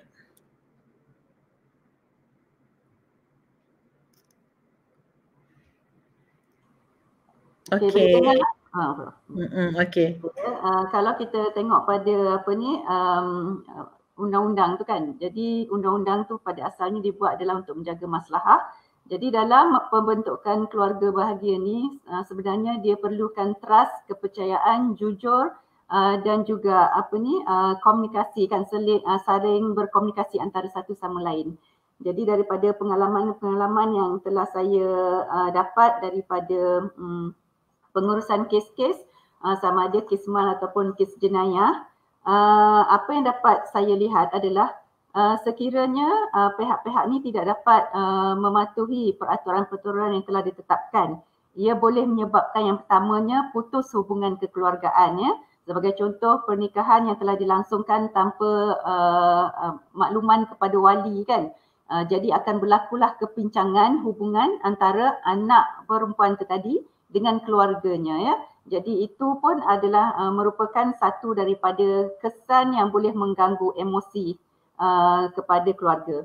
Uh, yang keduanya kita uh, cuba nak elakkan supaya apabila uh, uh, tak ada uh, kejujuran uh, ataupun saling mempercayai antara satu sama lain satu kesalahan yang dilakukan tu boleh menjuruskan kepada pelakuan satu kesalahan yang lainnya. Uh, contohnya dalam satu kes ni, uh, seorang suami ini dia telah bernikah kali kedua tanpa pengetahuan isteri yang pertama kan. Tapi bila isteri pertama mendapat tahu, dia nak tunjukkan protes dia, dia membuat perkara yang sama. Tapi dia membuat tu secara yang tak betul lah sebab dia berlaku curang sehingga suami dia sendiri menangkap uh, dia uh, apa ni berkhaluat dengan seorang yang lain. Jadi ini adalah satu uh, maknanya perkara yang saya rasa sedih jugalah bila tengok macam itu apabila uh, seorang isteri dia, dia tidak dapat menerima perkahwinan uh, kali kedua suami itu tanpa makluman dia kan. Uh, sedangkan mungkin dia telah uh, mengalami uh, perkara-perkara yang tak baik sepanjang berhubungan dengan suami dia ke ataupun mungkin dia tak percaya bahawa suami dia yang dia rasa orang yang paling baik tu boleh melakukan satu perkara yang tak baik di belakang dia ya. Uh, dan yang uh, ketiganya adalah uh, sekiranya ya uh, kalau uh, pihak-pihak dalam perkahwinan tu tidak dapat lagi hidup uh, selesa dalam sesebuah perkahwinan maka dia tidaklah dipaksalah untuk meneruskan perkahwinan tersebut. Macam mana yang Prof Syam Datuk, uh, Datuk Syam kata tadi, Maknanya kalau boleh kita nak letakkan undang-undang tu di belakang kan.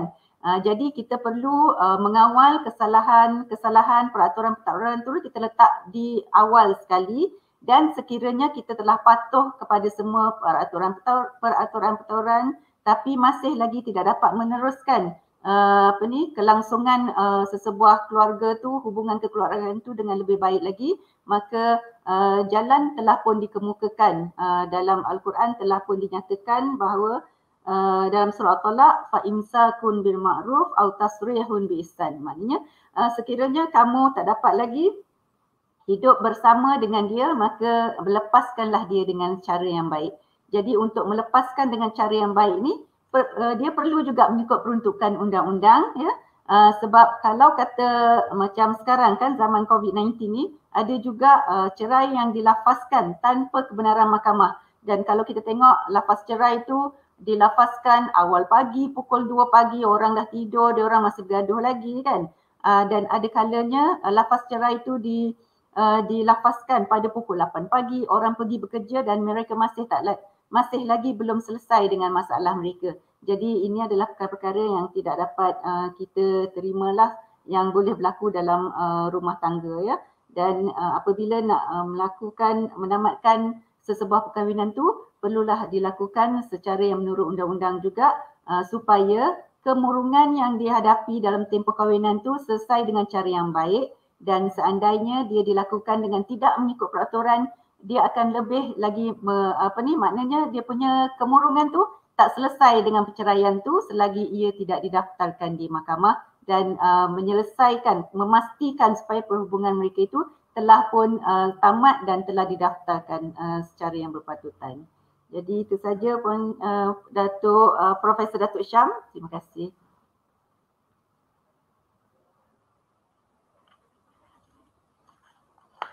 Alhamdulillah kita mendapati masa sehingga sharp pukul 5 petang untuk kita mengakhiri bicara kita pada petang ini dan saya minta uh, 5 5 minit daripada uh, kawan-kawan teknikal untuk kita, saya ulas sedikit sebanyak dan menutup mengucapkan terima kasih ya. Uh, kita mengucapkan terima kasih untuk soalan Cikgu Haizatul Fauziah Hairudin berkaitan dengan kemurung, kemurang, kemurungan ini boleh disebabkan oleh orang luar dalam keluarga tu. Dan saya fikir uh, kita menerima kenyataan itu dalam kes-kes yang berlaku banyak berlaku dalam masyarakat kita bahawa orang ketiga orang ketiga ni mungkin mungkin uh, bu, tentu bukan isteri atau ia mungkin keluarga mana-mana pihak ya. Saya fikir uh, ia sebenarnya telah di itu hanya komen atau pandangan um, Puan Haizatul Fauziah ya. Ya. Uh, sesungguhnya saya percaya sambutan Hari Wanita pada tahun ini amat bermakna pada saya secara peribadi uh, kerana sambutan ini telah memberikan saya satu pandangan uh, satu apa ruang untuk saya melihat lebih jauh ke dalam diri dan juga saya harap rakan-rakan wanita semuanya juga terkesan dengan penganjuran program-program sempena sambutan Hari Wanita 2021 oleh Yadim. Dan sesungguhnya uh, Maya sebagai majlis wanita uh, Yadim, majlis wanita Islam uh, Yadim ini merupakan satu kumpulan sokongan yang sebenarnya boleh membantu dan memberi panduan atau berkongsi dan juga belajar daripada semua rakan ya. Kami uh, kami juga di Yadim ni, saya juga di Maya ini kita sudah tentu dengan kerjasama Kementerian Keluarga Wanita dan Masyarakat itu Yadim mm, boleh berkongsi dengan rakan-rakan pelayar tentang isu-isu berkaitan dengan wanita. Kita ini sekarang ni pada masa yang sama kita ada lima parallel session ya.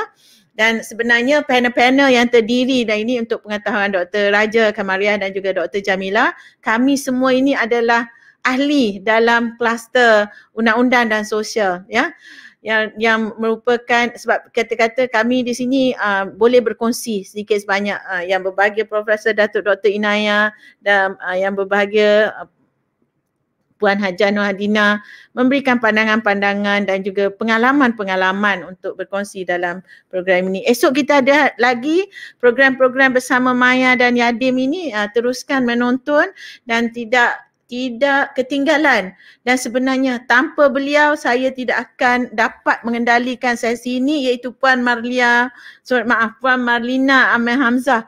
Beliaulah orang yang selalu mengingatkan saya tentang apa juga urusan berkaitan dengan program pada hari ini. Dan uh, saya mengucapkan terima kasih dari jauh dari sudut hati saya. Saya fikir saya juga telah mendapat sokongan-sokongan yang sangat baik daripada rakan-rakan di Maya ya. Yeah. um, di sini juga uh, yang saya mengucapkan terima kasih. Saya pun tak pandai nak pronounce apa.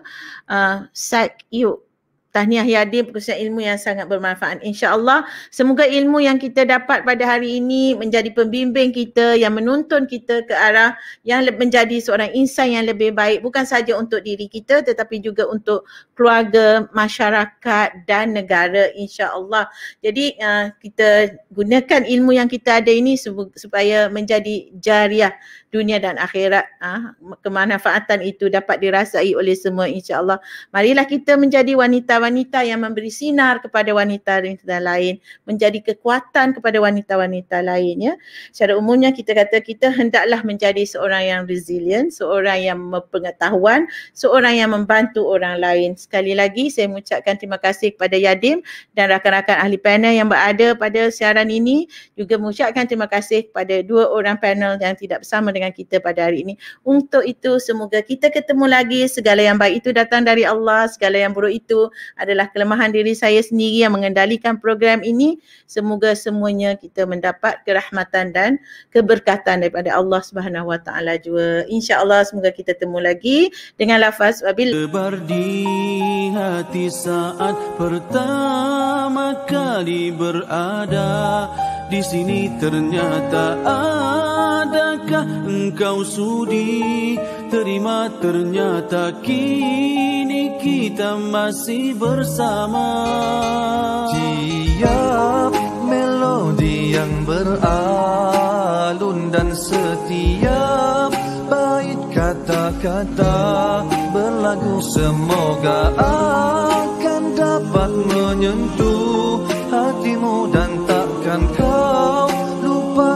lupa kita pernah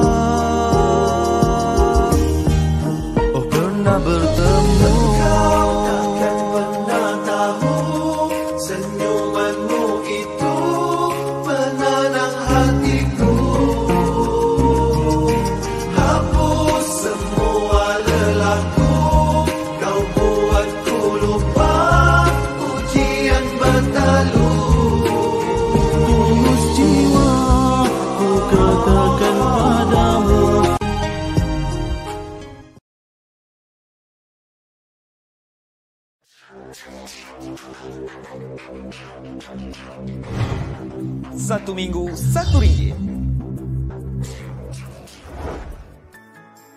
Satu minggu, satu ringgit adalah merupakan inisiatif terbaru Yadim untuk mendapatkan sumbangan dana infak yang bertujuan meningkatkan sumber kewangan Yadim bagi menyalurkan bantuan kepada masyarakat yang memerlukan merangkumi aktiviti dakwah, kebajikan, kemanusiaan dan juga pendidikan.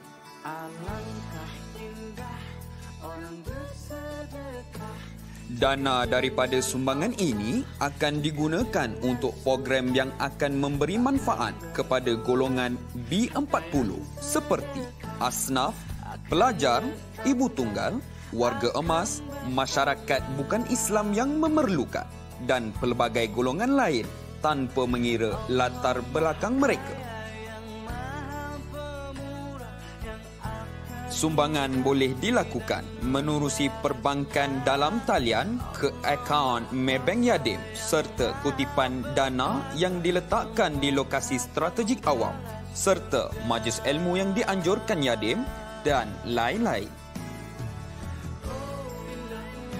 Maklumat lanjut mengenai sumbangan ini boleh diperolehi melalui laman web dan media sosial rasmi Yayasan Dakwah Islamia Malaysia, Yadi.